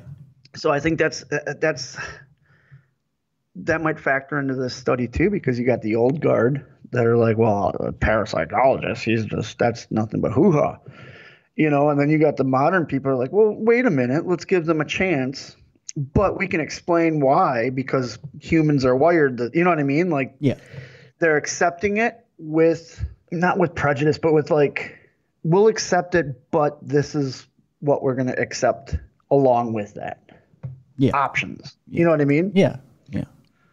I, know, I just i always tell whenever i meet a scientist or something that's oh no no okay come on an investigation and watch how we investigate. If, if you know we hear a bump we go figure out why why did that bump happen? You know you, you debunk it. And if we can't do that what's the scientific explanation? You heard the bump. You're not wired the way i am. You, you know what i mean? Like yeah. then explain to me what's the scientific explanation well, yeah, that drives that drives I had that drives science people nuts. I've I've done that to numerous people. Yeah, and it's a it's a a matter of you know why yeah, and there's there's there's scientific method, and there's a there's a, and keep in mind most investigators don't use scientific method when they No, when you they, can't.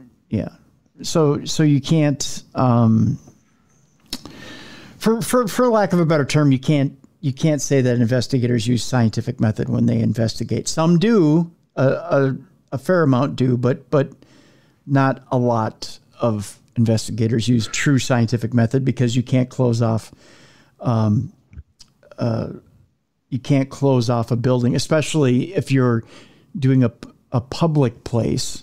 Um, oh yeah, you you can't close off a, a, a public place and do um, and use scientific method. And, and my my old roommate was was like that where he he doesn't believe in the paranormal because there's no way of actually getting true scientific. And I, and I asked him one day I said why? He goes well think about it. You if you're in a public school that was haunted and that's what you're investigating you can't make a five block radius where no one can be inside there. Yeah, you know you, you can't so how do you know it's not an outside and i was like okay that makes sense it's a, it's definitely an interesting topic, that's for sure. Well, from uh, believing in ghosts and demons to a story of the demon drummer of Tedworth. Figure we'll change the subject here. Um, exploring the truth behind the story. As a species, mankind has always been obsessed with things that go bump in the night, uh, whether it is uh, or whether it be around a campfire, written down in a book, or shown on the big screen. We've been telling each other spooky tales for thousands of years. The 17th century case of the demon drummer of Tedworth may be Britain's earliest recorded ghost story, and many believe it is true. Uh, the demon drummer of Tedworth is often didn't he play with ozzy a few years ago he did, yes. Actually, he had to he had to retire from carpal tunnel, I believe is what Oh, it was. yes, yeah, yes. yeah. those demons You know, you know, even they uh, succumb to, to uh, carpal tunnel. You just can't help it when you're de- when you're drumming with Ozzy. That's for sure. um, the uh, demon drummer of Tedworth is often attributed to as uh, being the uh, first recorded encounter with a poltergeist in England. A poltergeist, by definition, is a type of ghost responsible for physical disturbances. They tend to make loud noises, move objects, and generally make a huge nuisance of themselves. Uh, most cultures seem to have some version of poltergeist folklore, and there are records of poltergeist activity dating back to the first century AD. However, stories of poltergeist activity became much more common during the 17th century. And why? Well, the popularity of the drummer of Tedworth probably had something to do with it. Well, you know, that drummer of Tedworth, he was something else. yeah he Um, sold out every week He did. He's he'd sell out every night, brother. I'll tell you that. Yep. Uh, details vary from account to account, and the tale has likely been sensationalized uh, both at the time and since. The story goes something like this: In 1661, John Mompesson, uh, who was, for ease's sake, we'll refer to as a magistrate here, was visiting. I believe it's Lud. Ludgerson, or no, Ludgers Hall. That's what it is. Ludgers Hall. And I'll get, I'm sure, emails on my pronunciation. in Wiltshire, England. While there, uh, he ran across a local vagrant, homeless man called William Drury. Uh, there had been so many complaints, or there had been many complaints in the area that Drury had been annoying the locals. Uh, Drury had been playing his drum nonstop and begging for money. Kind of like downtown Minneapolis, down by Target Center. I was at uh we stopped at a store the other day. There was a guy outside playing his guitar with a tip jar. Yeah, I don't think he was a vagrant. I think he was just performing. yeah, that's not bad. That's not bad. Nope. He wasn't Uh, a demon. Well, he, might have been. might have been. Well, if he Could was. have been that crossroads deal. It was it a crossroads? oh, see, might have been Robert Johnson. Yeah. Yeah. Yeah. Uh, Mompesson got himself involved, and upon confronting Drury, discovered that Drury's busking permit was fake. no, that'll happen. As a got to make some money, leave leave him alone. As a direct result of this, the local bailiff took away Drury's drum, and uh, the whole case never went to court. After doing his good deed for the day and taking away a homeless man's livelihood, Mompesson went home to Tedworth. Unfortunately for him, when he got home, he found that the bailiff had, for some unknown reason, forwarded the drum to Mompesson's home. Oh, okay. okay. Uh, what follows is your classic spooky story. The haunting started with scary noises. The family was plagued by strange knocks and bangs, and of course, ghostly drumming. Boo, kids. Uh, as time went on, the haunting appeared to intensify. After a month of near constant haunting, the family was suitably terrified. Mompesson uh, had tried to chase away the ghost with a pistol. Of course, that works every time. Uh, but unsurprisingly, that hadn't worked. Things became more sinister, however, when the haunting began to focus on Mompesson's children's room. A loud screeching came from under their beds. The beds themselves would shake, and worst of all, the children would begin to levitate several feet above their beds. On one That's occasion, yeah, on one occasion, six men endeavored to hold the children down, but to no avail. This haunting went on for two years. The demon or poltergeist had, in some way, a short attention span. While seemingly tied to the house, it soon moved on to Mompesson's staff. Objects would levitate around them. The children would then be levitated from their beds or even pinned to their beds, unable to move. As time went on, the haunting appeared to become more mischievous. People's bedclothes would be pulled down while they slept, and objects would be moved around rooms. But the worst of the haunting seemed to have been abated. Of course, this being the 17th century, Mompesson got a priest involved, backed up by some very sleep deprived neighbors. The incessant drumming meant no one was getting any sleep. The priest supposedly found that when they all prayed, the sounds and the drumming would stop. But as soon as the praying stopped, the noises would come back worse than ever.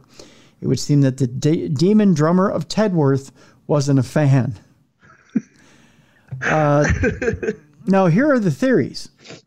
Theory one Drury the Wizard. At the time, Drury received the blame. He would eventually admit to having essentially cursed Mompesson. He claimed that the haunting was his revenge for Mompesson confiscating his drum and his livelihood. If Mompesson would only return his drum, the haunting would stop. If we take this line into thinking, then the demon drummer is no poltergeist, but some kind of curse or demon. Its uh, dislike for priests and habit of hiding Bibles would support this. Even Drury was tied to a wizard, or was tried as a. Uh, I'm sorry, let me try that again. Eventually, Drury was tried as a wizard and convicted, as was the English habit at the time. He was shipped off to one of the colonies, which was Pennsylvania, uh, it appears that around the same time, the haunting finally came to a stop. Oh, oh okay. That's all it took. Sent him to Pennsylvania. theory two is that it was a hoax. The prevalent theory, however, is that demons don't exist and that the demon drummer of Tedworth was just a hoax. Some experts at the time, such as Joseph Glanvill, a clergyman and proto demonologist, blamed the children it's thought that since the majority of the hauntings happen in the children's room and kids will be kids, that they did it. hey, we can get mom and dad. Follow me on this one. Uh, the rest can be chalked up to good old fashioned hysteria and religious fervor. Or was it Drury's pals helping to get his revenge?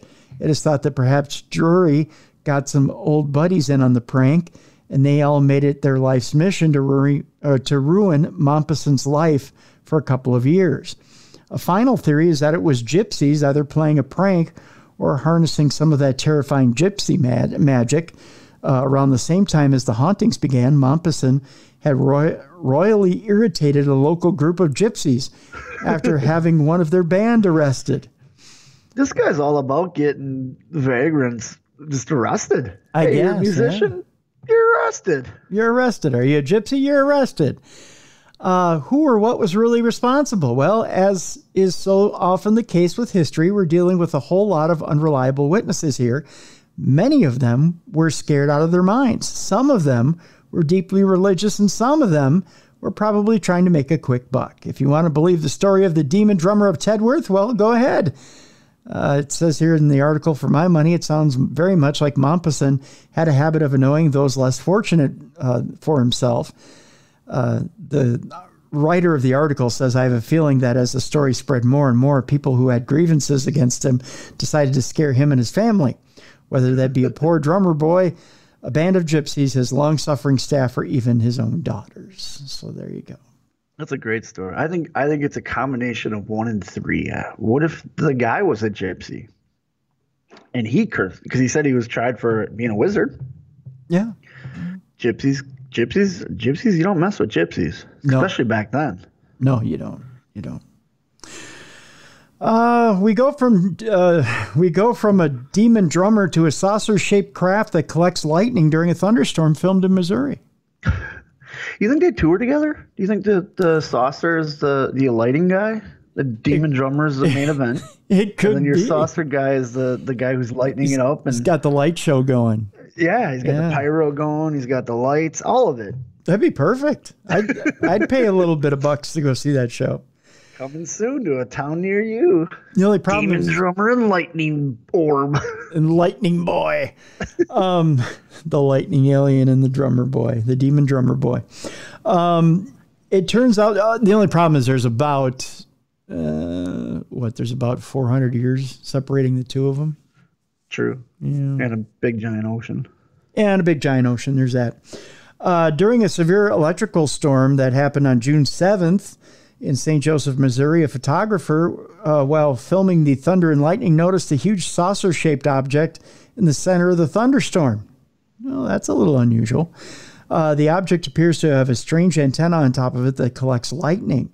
Since it seems that the vapor clouds are influenced by the shape of the object, we can suppose that the object is not a natural cloud, but a solid craft uh, that uh, created by intelligent design, whether man-made or of alien origin. It says here. This wasn't the first time a UFO was caught during a lightning storm. Back in 2017, a UFO was caught on camera uh, when it was hit by a gigantic lightning strike in the U.S. It is often said that UFO use lightning to recharge their batteries. And then the question is raised could these images be proof of it? Footage of the uh, thunderstorm with saucer shaped craft starts at about the 305 mark of the video that's in this article. Um, It just proves that we're nothing but a rest stop for them. They so. stop and fuel up and go. They stop, fuel up, and go. Um, it's kind of interesting. I'll see if I can I can get this picture. It's it's the it's the image. The uh, video image is actually kind of interesting. Can you see that craft shape and then the lightning bolt hitting it? Yeah.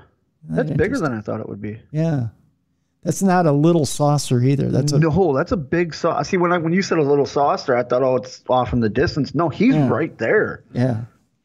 That fills up the whole frame. Yeah, that's kind of interesting. It's it's a it's a pretty large saucer, and you can clearly see a lightning bolt hitting the top of the surface of the saucer. So it's interesting, nonetheless. Yeah.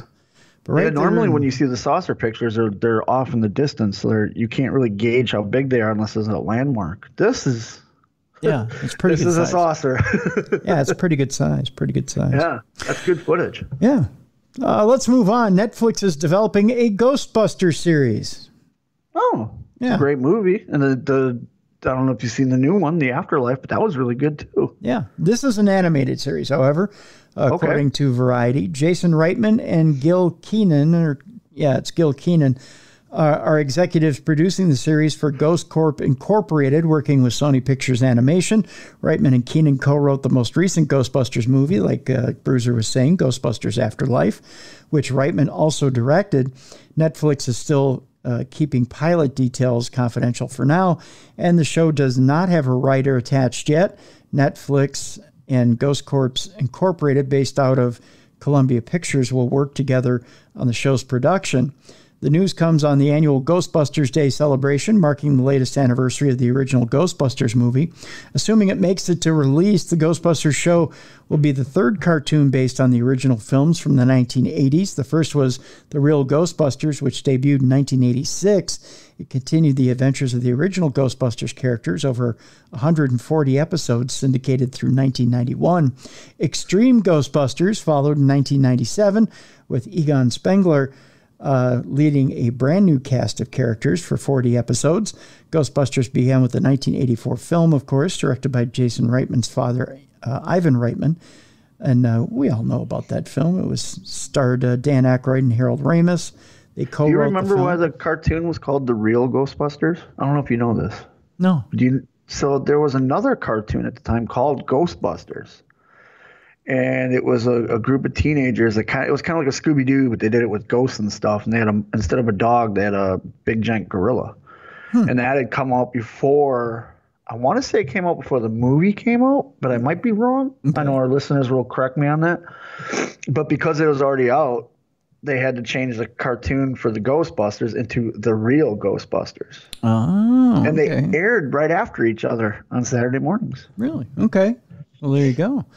See, mom, me wasting all that time indoors watching cartoons helped in my life.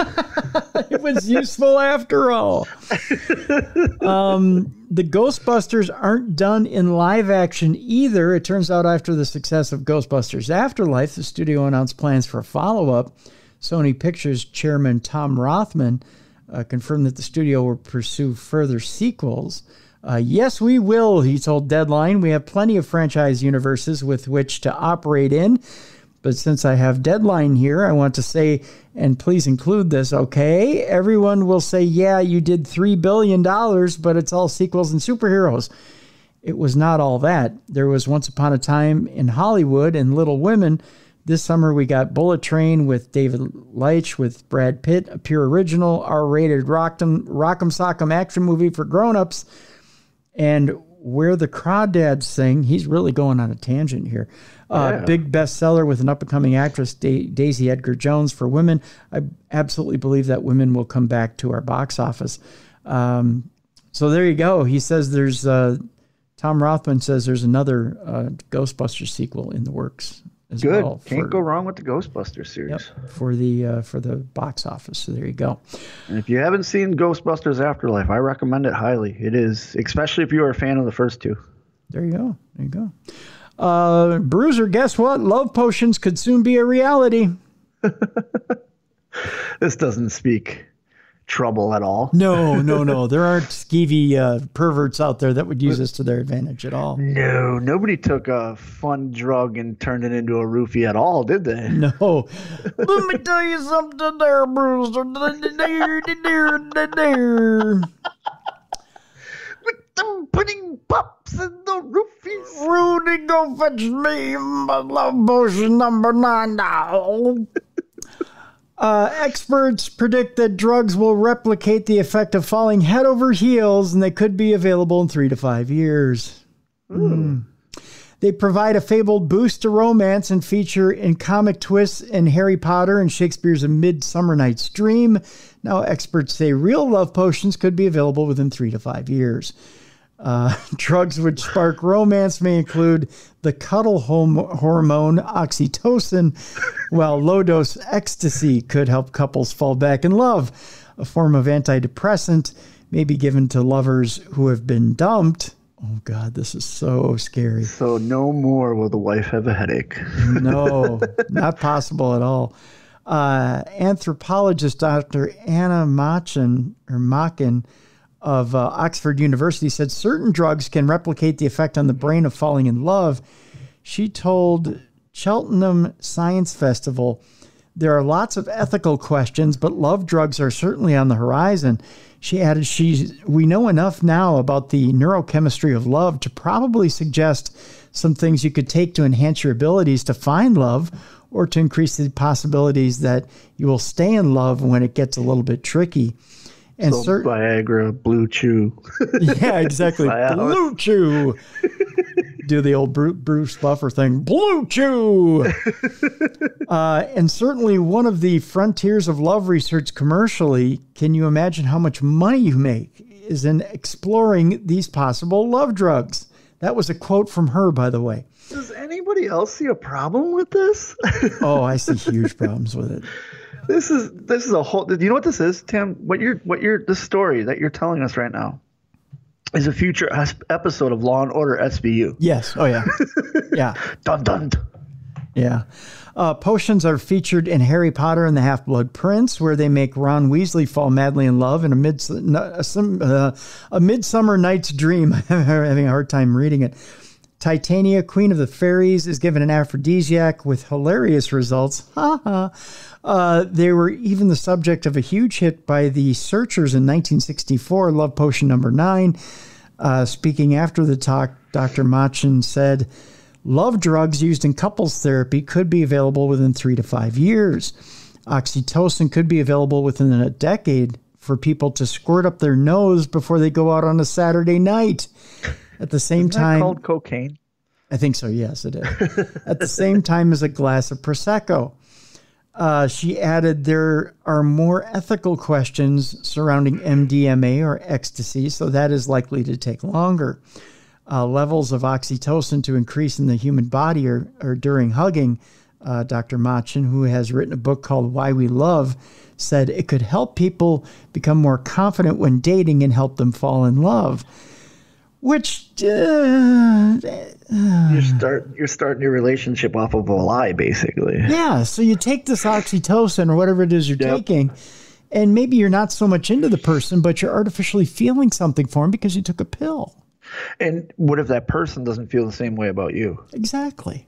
You know what I mean? Like, Yeah. are they going to create a pill that takes it away? Is there going to be a no pill? Yeah, yeah. You know what I mean? Like that's why this is bad. Uh, they, Yeah. he- they said it in there, MDMA, the ethics. Well, yeah, because people use MDMA as a, a date rape drug. It's a it's a roofie, a roofie. yeah. It, you know, yes, it was created for something else, which is great. The the person that created these love potions, they have something else in mind, which is awesome. Good, you're thinking of that, but you're not considering a complete jerk. you know, a narcissistic Yeah. serial killer jerk taking these drugs. Yeah, and then then you've got complications like relationships that really should move on. You've got someone who's stuck on somebody else and one person wants to move on.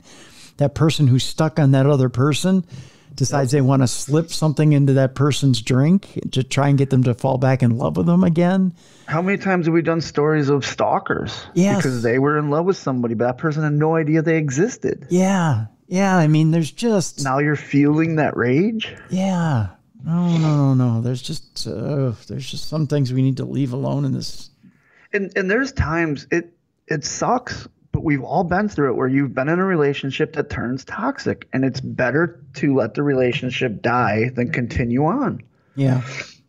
Yeah. but if you're constantly fueling yourself how many people are going to associate then toxic relationships because they're feeling good with the oxytocin you know what i mean Yeah. so in their head that's normal that's what it is when no that's a toxic relationship you need to get out of that Yeah, exactly, exactly. Scary stuff. very Uh, scary Let's change. Uh, let's change gears here. Um, you know, sometimes you're you're hit with a scary situation, Bruiser, and you just need that one tool in the toolkit to to drive whatever it is away. yeah I think I found the ultimate tool when you're in a scary situation with a potential spirit to drive it away. Is it a pistol? Because that's what the guy used in the 1700s. No, um, this is even better. Um, a music teacher may have led the way for us all. okay. Okay. Um, but he proved it with uh, a scenario with a bear this week. so we know this repels bears, is what you're getting at. yeah. Okay. A music teacher played a trombone to scare a bear away from his school. I figure if it works with a bear, it's got to work with a spirit, right? Of course. Especially if I'm picking up the trombone and playing it because I don't play the trombone. My son used to play the trumpet, and we always laugh because uh, one day he came downstairs from his room and he goes, Man, our neighbors must really like the way I play. And my wife goes, Well, why? Because I keep knocking on the wall. we said, Yeah, you're going to practice in the basement from now on. Yeah, yeah, that's probably a good idea. we couldn't break his spirit. You know what I mean? No. Yes, son, they're big fans, but Yeah, you gotta. move to the basement. Yeah, yeah. It's it's That's probably uh, why we didn't experience any spiritual energy in that house because of his trumpet, his trumpet playing. See, that's why. Yeah, yeah, you're right. Yep, You're right. Loud instrument does good.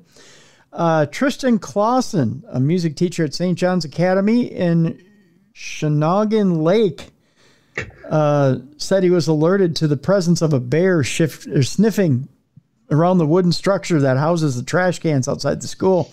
Clausen said another teacher attempted to scare the bear away by banging on a door. That's not going to get it done. No, you gotta you gotta get right up in there. obviously by what you told us about your son banging on it, anything is not going to get it done uh, i thought well i can do better than that and reached for my trombone and went out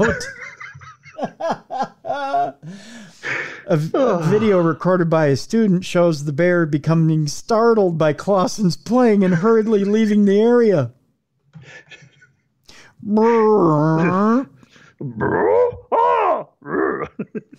That sounds like you're strangling Yoda.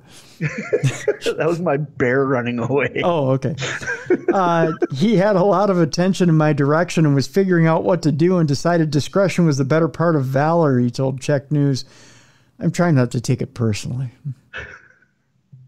Well, evidently, the music teacher wasn't that great of a trombone player. No. Mm. You don't have to be great to scare him away. You just have to be. Well, yeah, you didn't know that that bear might have been a big jazz fan, and if he would have started playing a song, the bear would have danced a little, you know, a little yeah. jig. Da, da, you want to da, da, da, Yeah, that's my jam. Yeah, play it loud. I'm gonna get some garbage. he would have st- stood around just eating the garbage and watching yeah. the trombone player. But oh, you you guys had some pizza last night. I like that pizza. That's my bear. That's your bear? Your bear That's is Louis bear. Armstrong. yep. Yeah, play daddy Yeah. Oh, what a wonderful world.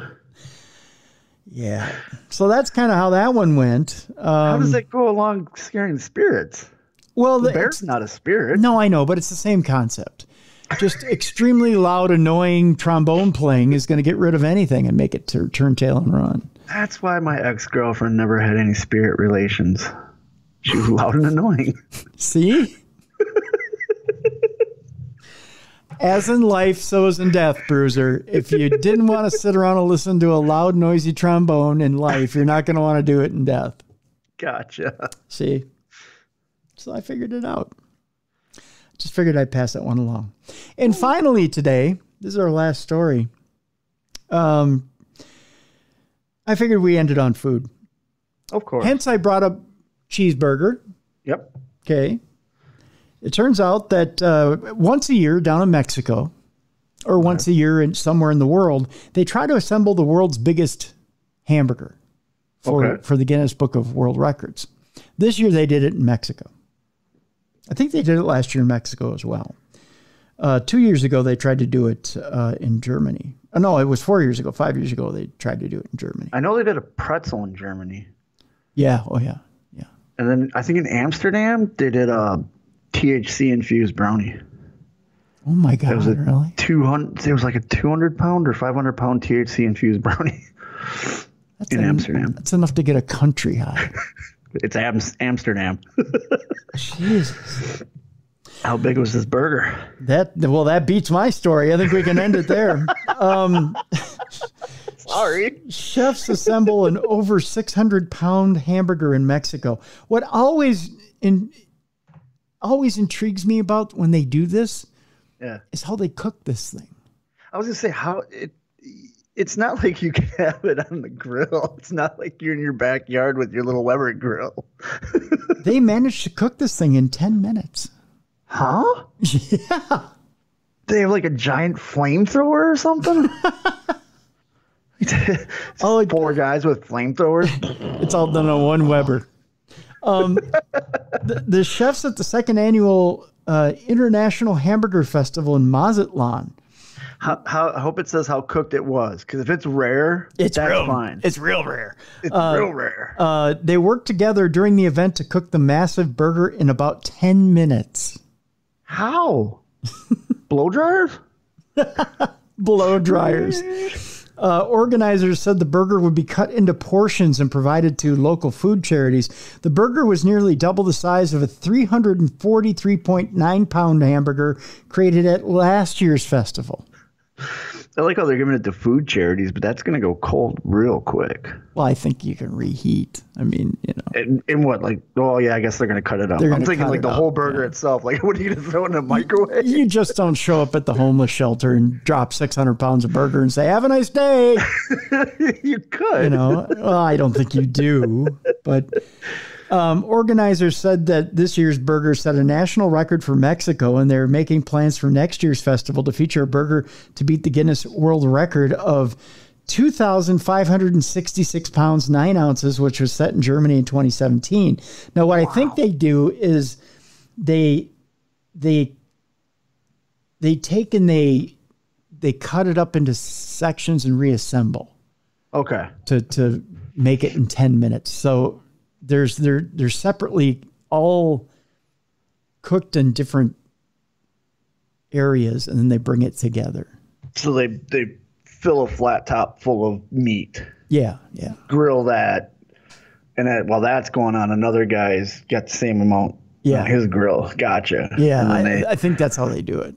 they get together, pull out the instructions from IKEA, and reassemble. And then they all put it together. Yeah. Yeah, I think that's how they do it. I'm pretty sure that's how they do it. I don't know. I have to I have to look at like you know what? I I think I may look it up while we're sitting here talking because No. this, it's the only way to Now, is it on a bun with ketchup, mustard, cheese the works, or is it just the meat? I gotta think it's just the the meat. Because that the the bun brings in another thing. How are you making this bun? That's Well, gonna be a now- big bun. when they did the one in Germany, I think they made a custom bun. If I remember right. Huge oven. Well, no, because you you can make it in sections for that too. You could. Um, let's see here. I'm going to Google how do you make a giant hamburger? okay, so You're gonna get so many pop up ads. I know. They're all going to be for McDonald's too, I'm sure. yep. Uh, I have a there's a YouTube there's a guy with a YouTube channel out there who says he made a giant 30 pound burger. See, thirty pounds is okay. Like I could do thirty pounds, but six hundred pounds of meat. That is just insane. Could you eat? What did you say? The German one's two thousand pounds. Yeah, 2,566 pounds nine ounces. Was that with now? Is that just the meat, or is that the whole sandwich assembled? That's the meat. Jeez. Because if you're throwing on ketchup, mustard, lettuce, tomato, onion, bun, that's gonna add some more weight. Could you could you eat a 30 pound burger? No. I don't know who eats that. Is that like a family thing? You you It's just got to be. My old roommate uh, ate a what was it, five pounds? So it was a it was a three pound burger and two pounds of fries, and he got a free T-shirt. jeez. Yeah, it was funny. On the ride home, he was in a meat coma. it was like Oh, I bet. he was out, and I asked him, I said, "What was the worst part?" He said, "The fries." Oh yeah, yeah. The fries. The fries were the worst. Yeah. Yeah. Yeah, it's never the meat. I mean the the meat seems to they just don't have it in Google. We'll have to look it up on another show. Yeah. Um, I know people are on the edge of their seat right now going, How do you cook that much meat at one time? There's a guy right now at the grocery store holding all this meat, going, "Come on, Timmy, come through, Tim. How do I do? How do I? How do I do this? And now he's putting all the meat back. Like, oh I've ordered man. I've ordered 600 pounds of beef from the butcher. It's all your fault, Tim. Um, no, it's uh, but yeah, I, I, somebody out there must know too. I'm, I'm sure I'm going to get that. You think how many what? cows? Because it's ground chuck, I'm assuming, right? It's got to be. So that's that's got to be at least. All the cows in Mexico. That's not all the cows in Mexico. it's got to be at least 30 cows. And then, can you imagine seasoning that? Because you got to season it. Salt and pepper. That's all it is. Yeah. So what? You Mm-hmm. just go to the local quarry and ask for all the salt. A local quarry. You walk up to Fred Flintstone. hey, Fred. They want salt and pepper. Um, yeah, I- a local quarry where they're farming rocks. I was thinking a salt, salt. quarry, but that's all right. A local quarry. I love that. I saw it on Dirty Jobs where he went into a salt quarry and he essentially was harvesting salt. Mike Rowe, who by the way is one of our, uh, we maybe we should get Mike Rowe on the show because he's on Audio Boom here. That Tim, you're playing with my emotions now. He, I am a, such a huge fan of Mike Rowe. I watched Dirty Jobs. I used to watch The Bering Sea Gold. All the shows he he Ghost Hunters. He was the narrator for that. He, he he's just an amazing man. I'm fanboying right now. I get it. We'll have to uh, we'll have to talk to our buddy Emily see if we can uh, either if we can uh, appear over on uh, Mike Rowe's show or if he can come over here. He's just that would be a dream. He is, uh, yeah. Never thought it would happen. He's uh, he's a classically trained opera singer. He's a voiceover artist. He's a television artist. I mean, you name it. That's Mike Rowe. He's got a show here on Audio Boom, so we'll uh, we'll have to see if we can hook something up. We'll talk to Emily. Yeah. Yeah. We can ask him if he can eat a 600 pound burger. Yeah, exactly. we'll after ask him how to cook a big burger. after He's a- got to know from Dirty Jobs, after right? a hard day of hard work, can you eat a 600 pound burger micro? and how many cows is that? yep. And He's- what do you do with what kind of bun? He's got to know what that is. You, Oh you'd my God. think He knows everything. he does. Look at us, Joey. We mentioned in the last two days, Tim. We've mentioned Joey Greco and Mike Rowe. Look at us. That's right. Maybe we could get them both on the show at the same time. Oh, you're trying to kill me now. I got to get the This guests. is this is this would be me during the whole interview. And then while we were sitting here, I got a I got a text from Katrina Weidman, and she had asked me if Another one. Look at you. if uh, if Discovery Plus had ever gotten back to me about getting them on the show, getting her uh, her and Jack Osbourne on the show, and they hadn't. Those dirty, you know what? That's So- an amazing show, by the way, fans. If you're a fan, um, Portals from Hell, Portals to Hell Portals Hell. amazing. Yep. So, and I've been I've been chasing them since the season started, and Discovery Plus had been putting me off, and I so I I texted Katrina because she's a good friend of the show, and I said, Katrina, how come your uh, how come your people won't uh, let you come on my show? Yeah. And so uh, she said, uh, well, they had been busy at the beginning because there was a press release put out. But um, but she said, all right, well, uh, you know, we'll keep uh, we'll keep pushing them, and and we want to come on the show. And she said, did they ever get back to you? I said they haven't get, gotten back to me, so she's going to push and see if he if uh, at I'd be curious to see on. if you can get Jack on with his schedule because he's got the Osbournes want to believe. He's got the Portals from Hell. He's got the the show with the Ghost Brothers. and he's got he's got some major stuff going on at home. Not only that, but let's folks, let's send out some as we're closing up today. Let's send out some thoughts and prayers to Ozzy. Yes, 'Cause, uh, he's having that surgery. Yes, as we're recording this, Ozzy has had surgery today, and it's a major, major surgery. Um, it's going to affect his life, the rest of his life, and it Yeah. may affect whether he records again or not. Uh, and so we want to send out uh, some some prayers for uh, Ozzy, some thoughts and prayers for Ozzy. Let's send out some thoughts and prayers for the rest of his family too, because they're they're uh, having a tough time with this as well. So we want to we want to uh, send out some thoughts and prayers for Jack and Kelly and, and Sharon and, and the rest of the family, um, because uh, Ozzy's uh, not in a good way right now. So we want to make sure He- that he he's so influential in in not just music but Yeah. pop culture as a whole. yeah, You know what I mean? Yeah. Like yeah, musically he's he's gifted, but just as pop culture as a whole, Yeah. he's so influential. And and they're a tight family. Yeah. When you watch their stuff, yeah, they're all a really close, tight family, which is hard when you're the celebrity that Ozzy is. Yeah. You know what I mean? Well, not he- only not only that, but now you know Ozzy has grandkids, and you could tell he absolutely loves those grandkids. And and Yep. even if music went away tomorrow, you know, if, if music went away tomorrow for Ozzy, and, and he never made another album, that's fine. Right. What what counts now is that Ozzy has grandkids, and and you want him here to to have that precious time and to be able to be healthy to enjoy time with the grandkids Agreed. you know he's he's given us more than enough entertainment and and he's you know he's given us great great music he's given us great entertainment on television um you know he's given us it's all kinds time for us to give him all of our positive energy. exactly yeah so It's it's he's earned it. yeah so uh keep keep ozzy osbourne in your thoughts and prayers uh, uh this week as as he uh, as he goes through uh, that that surgery and that procedure and and um and let's let's wish him back to good health because that's that's what uh, that's what Ozzy needs. He needs a he needs a break here. He needs a break. Uh, tomorrow, Karen Anderson, animal communicator. We're going to talk a little bit about uh, what uh, what life is is like when you have a gift, and believe it or not, you're shunned by not only your family but your colleagues. Karen Anderson has. Really? Yeah, Karen Anderson has these amazing gifts, Yeah. and at one time she was a police officer. Oh, cool. Yeah, and uh, and You was, should do a reading on my cat. He's been a complete asshole lately.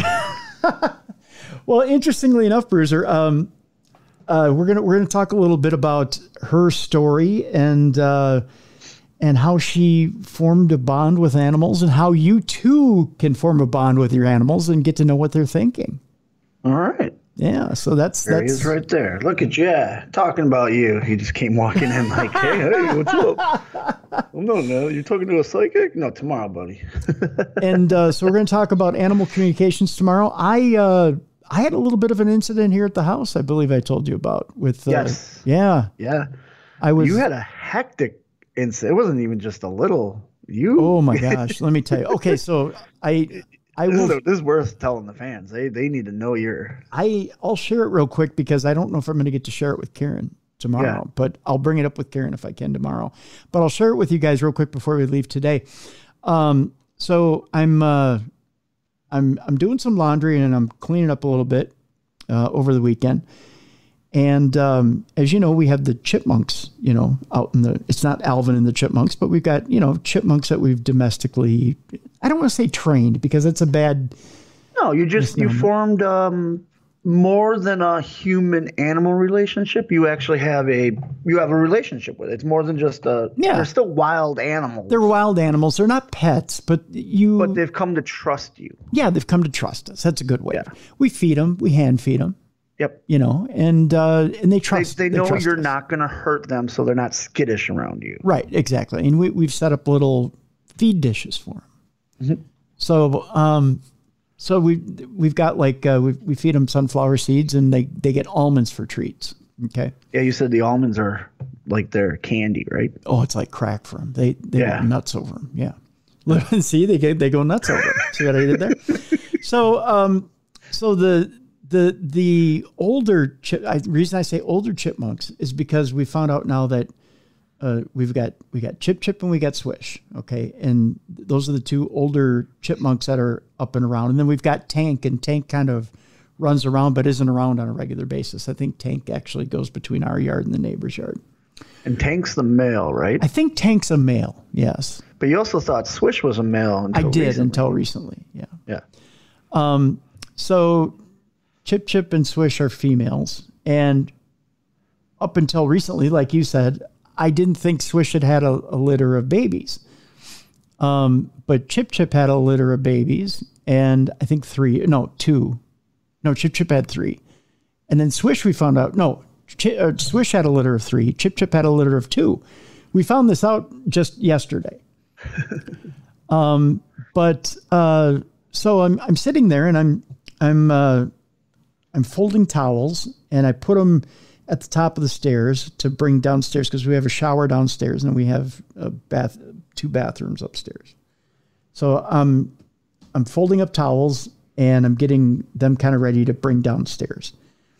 And I go to grab we kind of have like a area where we stack uh, you know, you know, everybody kind of has an area. In our area, is a closet near the near the foyer Yeah. where we stack, you know, like sodas and and excess paper towels and It's like a miscellaneous Yeah. corner. Yeah. yeah, like a miscellaneous corner. So we've got this corner where we stack stuff, you know, in, in this closet. So I go in the, I go in the, in the corner. Or I'm about to go in the corner. I'm stacking towels. I'm about to go in the corner, and in that corner is where all the the feed is for the chipmunks. Uh, I'm about to go in that corner, and I was going to grab something to drink. I think it was a Gatorade or something. I was about to go grab a Gatorade, and all of a sudden I hear a chipmunk start chattering at me, like right next to me, like. And I went In the house. in the house. Yeah. Now the two older chipmunks know not to come in the house. Yeah. So I'm startled. I'm like, what the? And I look, and all I just see is this brown fur running back and forth in front of me. And then zooms past me and runs into the kitchen underneath a cart. And I'm like, what the heck? And intern Yoko looks at me and goes, What's the problem? And I said, We have a chipmunk in the house. she goes, We have a chipmunk in the house. I go, Yeah. She goes, Where? I said, Under the cart right there in the kitchen. She goes, Oh, and she goes, Oh, that's not Chipper Swish. That's one of the babies. Yeah. And I went, Oh my God, it's one of the babies. Because they don't know. They don't know. No, they don't- they don't- on. yeah. And she said the other day that she thought that that she she heard as clear as day one of the babies down in the work area Yeah. but she thought it was because they made their home in the overhang um, down on the ground outside, and that she Yeah, just so- heard them through the brick. She thought it was just that, but really, He was in the house. he was inside in the house. He's been in the, house. calls for- coming from inside the house. exactly. so this clever little shit's been in the house for a couple days. so, um, he just came upstairs because he was looking for food. Yeah. Well, he found the food, but he also found me. So he got, he got and he found a little extra. yeah, yeah. So he ran back to the cart. We're trying to corner him, and intern Yoko's got this big, big jar, like big olive jar, trying to trying to corner him and get him into the jar so we In can get my head, outside. I picture both you dressed in full like goalie hockey gear. oh no, no, and no, no. like with brooms and, and nets and, like as you were telling me the story the other day, I'm just like, that's a funny image. And you just like I just full decked out in like Minnesota Wild like, hockey gear. it wasn't it was it, it happened way too quick to do that. But keep in mind, I'm, I've also got like a double contact cast on too on my right yeah, my, yeah. my right foot.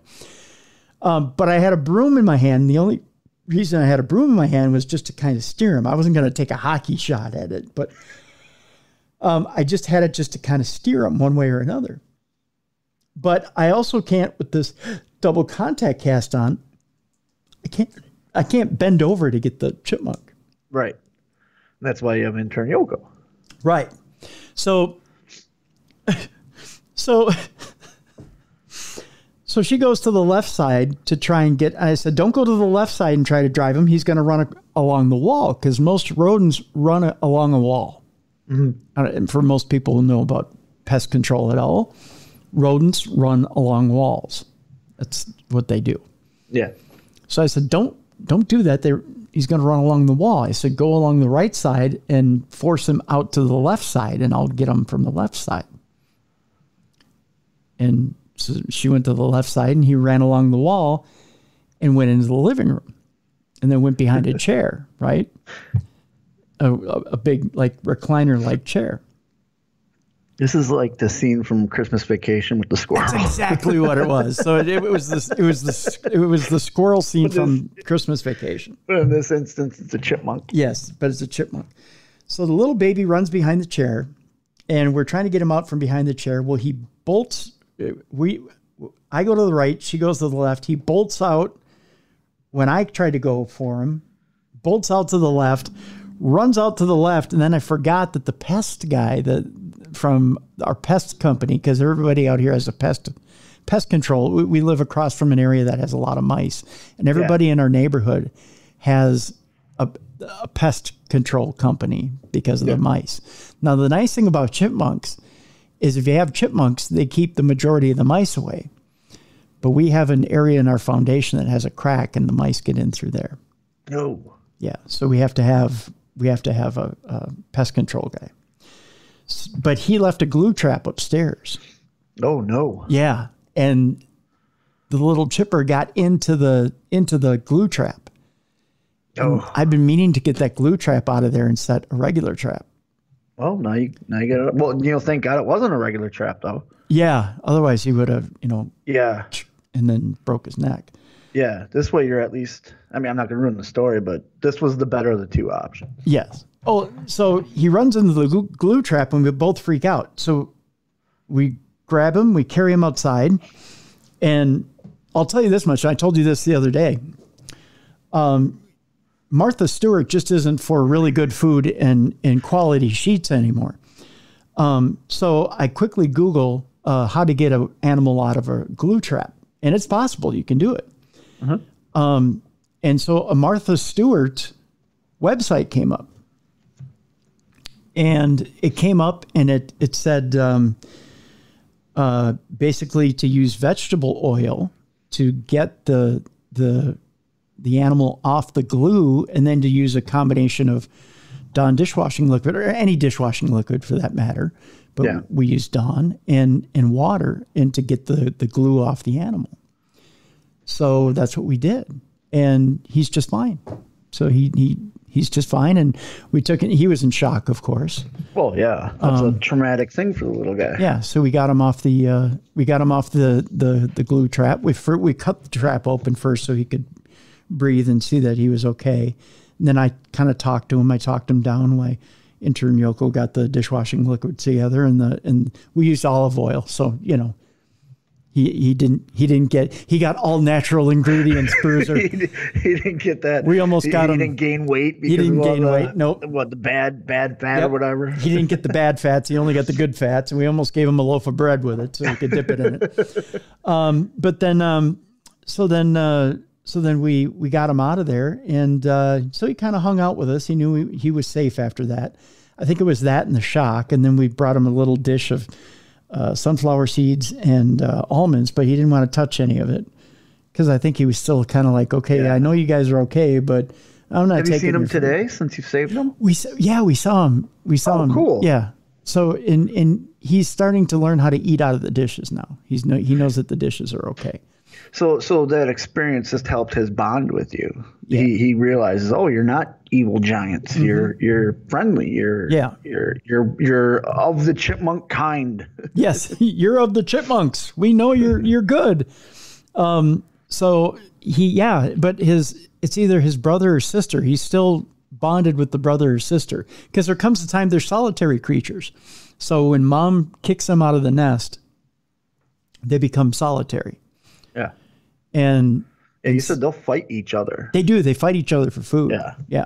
And so, and they'll fight their own mom because when Right. mom kicks them out and she kicks them out and they're, they're out, they're out, out and Yeah. they, they're not bad. They, they can never come back in. Right. So like Swish and, and Chip Chip are Chip Chip is, is Swish's mom. So But they don't get along. no, they don't. No, they'll fight each other for food. Yeah. Uh, because once she got rid of them, she got rid of them. They don't recognize each other as mother and son. Right. So the the two kids are now out. They're out of the nest, and they're technically adults now. I guess after six weeks, they're adults. so they're they're on their own and they're they're out looking for food. And so you know they've got the communal dishes there of sunflower seeds Yeah. and if they so wish we they they can you know we can start to once they're comfortable in approaching us we can we can hand feed them or start to hand train them uh, if they want to approach us they kind of look at us now like like we kind of know who you are but we're not quite comfortable yet Yeah. approaching you but Well, you're you started in the right direction. I mean, saving them from the glue trap. Yeah. that would earn trust right away. you would think but they you know they're wild animals they're wild animals Right. Exactly. So, That that's what people out there got to remember is these are wild animals. You're not yeah you're not raising chipmunks. no we haven't we've done nothing to raise them at all right. Right. but you, you you gain their trust and and they're very skittish animals too so you have to yeah. you just have to be very patient very kind you use slow movements and and you just talk to them with a, with a Lots of calm Christmas tone music and hula hoops. yeah exactly. Yeah exactly. So yeah it was uh it was an interesting interesting weekend. You're gonna have to bring that up with her tomorrow. yeah so i i do want to ask her if uh if she can tell what kind of i have an unconventional pet. That's the way i'm going to put it to her and see if she knows what it is and what they think of us. There you go. because I, I don't I mean I because put it this way Swish Swish will come and either tell myself or intern Yoko that the dishes are empty. and he He's does. got you guys, or she's got you guys trained. Yes, but but now see, I look at it logically. Mm-hmm. We're Swish's food source. Right. So if the dishes are empty, of course Swish is going to come up and look at us funny and say, "Hey, stupid, the dishes are empty." Yeah. I'm here for food. Yeah. You're you don't have the food out. I need it. Right. Yep. Just like just like your cat tells you when the food dish is empty, just like your dog will tell you when the food, food dish is empty. Yeah. It has nothing to do with the animal loving you. No, It's it's, just the food dishes are empty. Go fill the two, dishes. your your two year old child will do that. Yeah, yeah. It has nothing to do with love whatsoever. It's just No. you know. So yeah, that's that's exactly what it is. The dishes are empty. So, um, Yep. that and that's you know I, I've I've I've, I've told people that before on the show, and they're, oh, that's so harsh. Why would you say that? Of course, my cat or dog loves me. No, Not necessarily. And no. I, I've always, I always tell my wife like, you know, if you die, he's gonna eventually eat you. like that's that's what it is. Like they're they're food. You know, it's survival Yeah. for them. And I, I don't, I don't think, and, and although the the chipmunks remember us from season to season, I don't cast any aspersions. I don't think that these animals love me. Right. I just think that they know that we're a food source. And you're just happy to have the companionship. Yeah, yeah. I just know. think it's really cool that these Yeah. that these chipmunks, you know, they they look forward to seeing us because Yeah. They accept you. yeah, they accept us. Mm-hmm. Yeah. So yeah. So that's it, and that's that. It's just kind of a. It's not a paranormal story by any means, but it was kind of a funny story that uh, one of the babies got in the house. Yeah. So And uh, it goes right along the line of what's happening tomorrow. So Exactly, and it happens to uh, it happens to tie into what's going on with Karen Anderson. Now, unfortunately, Karen is not taking uh, any readings here on air with us, um, but um, and that's that because Bruiser brought that up with uh, the cat and whatnot, and I, I Karen came highly recommended by a couple of different friends um, that wanted to hear her here on the show, and so um, unfortunately, we're not able to uh, to do anything where we can set up readings ahead of time uh, with Karen. But um, I'm sure she's probably going to have her website or how to get in Yes. contact to set up Yeah. an appointment with her. Yeah. yeah, she's she's got uh, she'll have information on how to get an appointment set up with her. Um, I hear she's very good. She's very very good. Um, so we'll talk to her a little bit about her story tomorrow on the show, and uh, we'll talk to her about communicating with animals and how you can actually communicate with your animals. How how you can get little hints and signs that your your animal is trying to communicate with you, how they're trying to tell you different things, uh, things like that. So that's coming up on tomorrow's show. Um, I'm looking forward to it because Yeah. um, because you know it's it's uh, you know animals have different ways of communicating with us. So we'll we'll talk about that as well tomorrow. Um, so that's what's going on for this week. And again, uh, folks, if you were uh, a Stitcher listener and you were trying to listen to us through Stitcher this week and found out you couldn't, uh, well, we're on Audio Boom now. So uh, you can listen to us any other way. You can listen to us through the Darkness Radio app. You can listen to us uh, on Spotify. You can listen to us on the iHeartRadio app. You can listen to us on any any way that you listen apple podcast google play uh, we're available on all different formats that you can listen to out there. So uh, if you followed us over seamlessly thank you very much for listening. We appreciate it. And uh, we've got some things in the works. We've got some appreciation things in the works that we're going to uh, be doing very shortly here. Uh, we like to call it one of a one of a kind physical NFTs, uh, things that you don't necessarily uh, you don't have to um, you don't have to buy uh, digitally and say that you own. In other words, uh, we're just gonna do giveaways. Um, so, but it's a one of a kind thing, like literally, you own it and that's it. Yes. So we'll just call it a physical NFT. Um, so we'll we'll do something like that here uh, coming down the line here in, in a few weeks, um, as a way of just saying that we appreciate you guys uh, uh, and that we appreciate you for uh, hanging in there. Again, uh, some small changes we we said yesterday, and we'll say it again today. Uh, True Crime Tuesday now has dumb crime, stupid criminals baked back into it. You don't have to uh, pay five dollars a month for that. It's now free. It's an inflation buster. Can't beat free. That's right. So you now have dumb crime, stupid criminals for free, and it's uh, in the Darkness Radio um, thread or the Darkness Radio feed. So you don't know you no longer have to look for that uh, and be a, a, uh premium subscriber anywhere. It's free. So you now have that every Tuesday for free. Um, so just little changes here and there that that are all benefiting you because Yep. we want to show you how much we appreciate you. We know times are tough. The only thing you have to do is listen to an ad. That's it. Simple. 30 Sim- seconds. Simple stuff. Simple stuff. So we're going to let you go for today. Thank you so much for listening to Supernatural News. And uh, we'll catch you tomorrow on the flip side with Karen Anderson. For Beer City Bruiser, I'm Tim Dennis. Thank you so much for listening to the best in paranormal podcasting. This is Darkness Radio.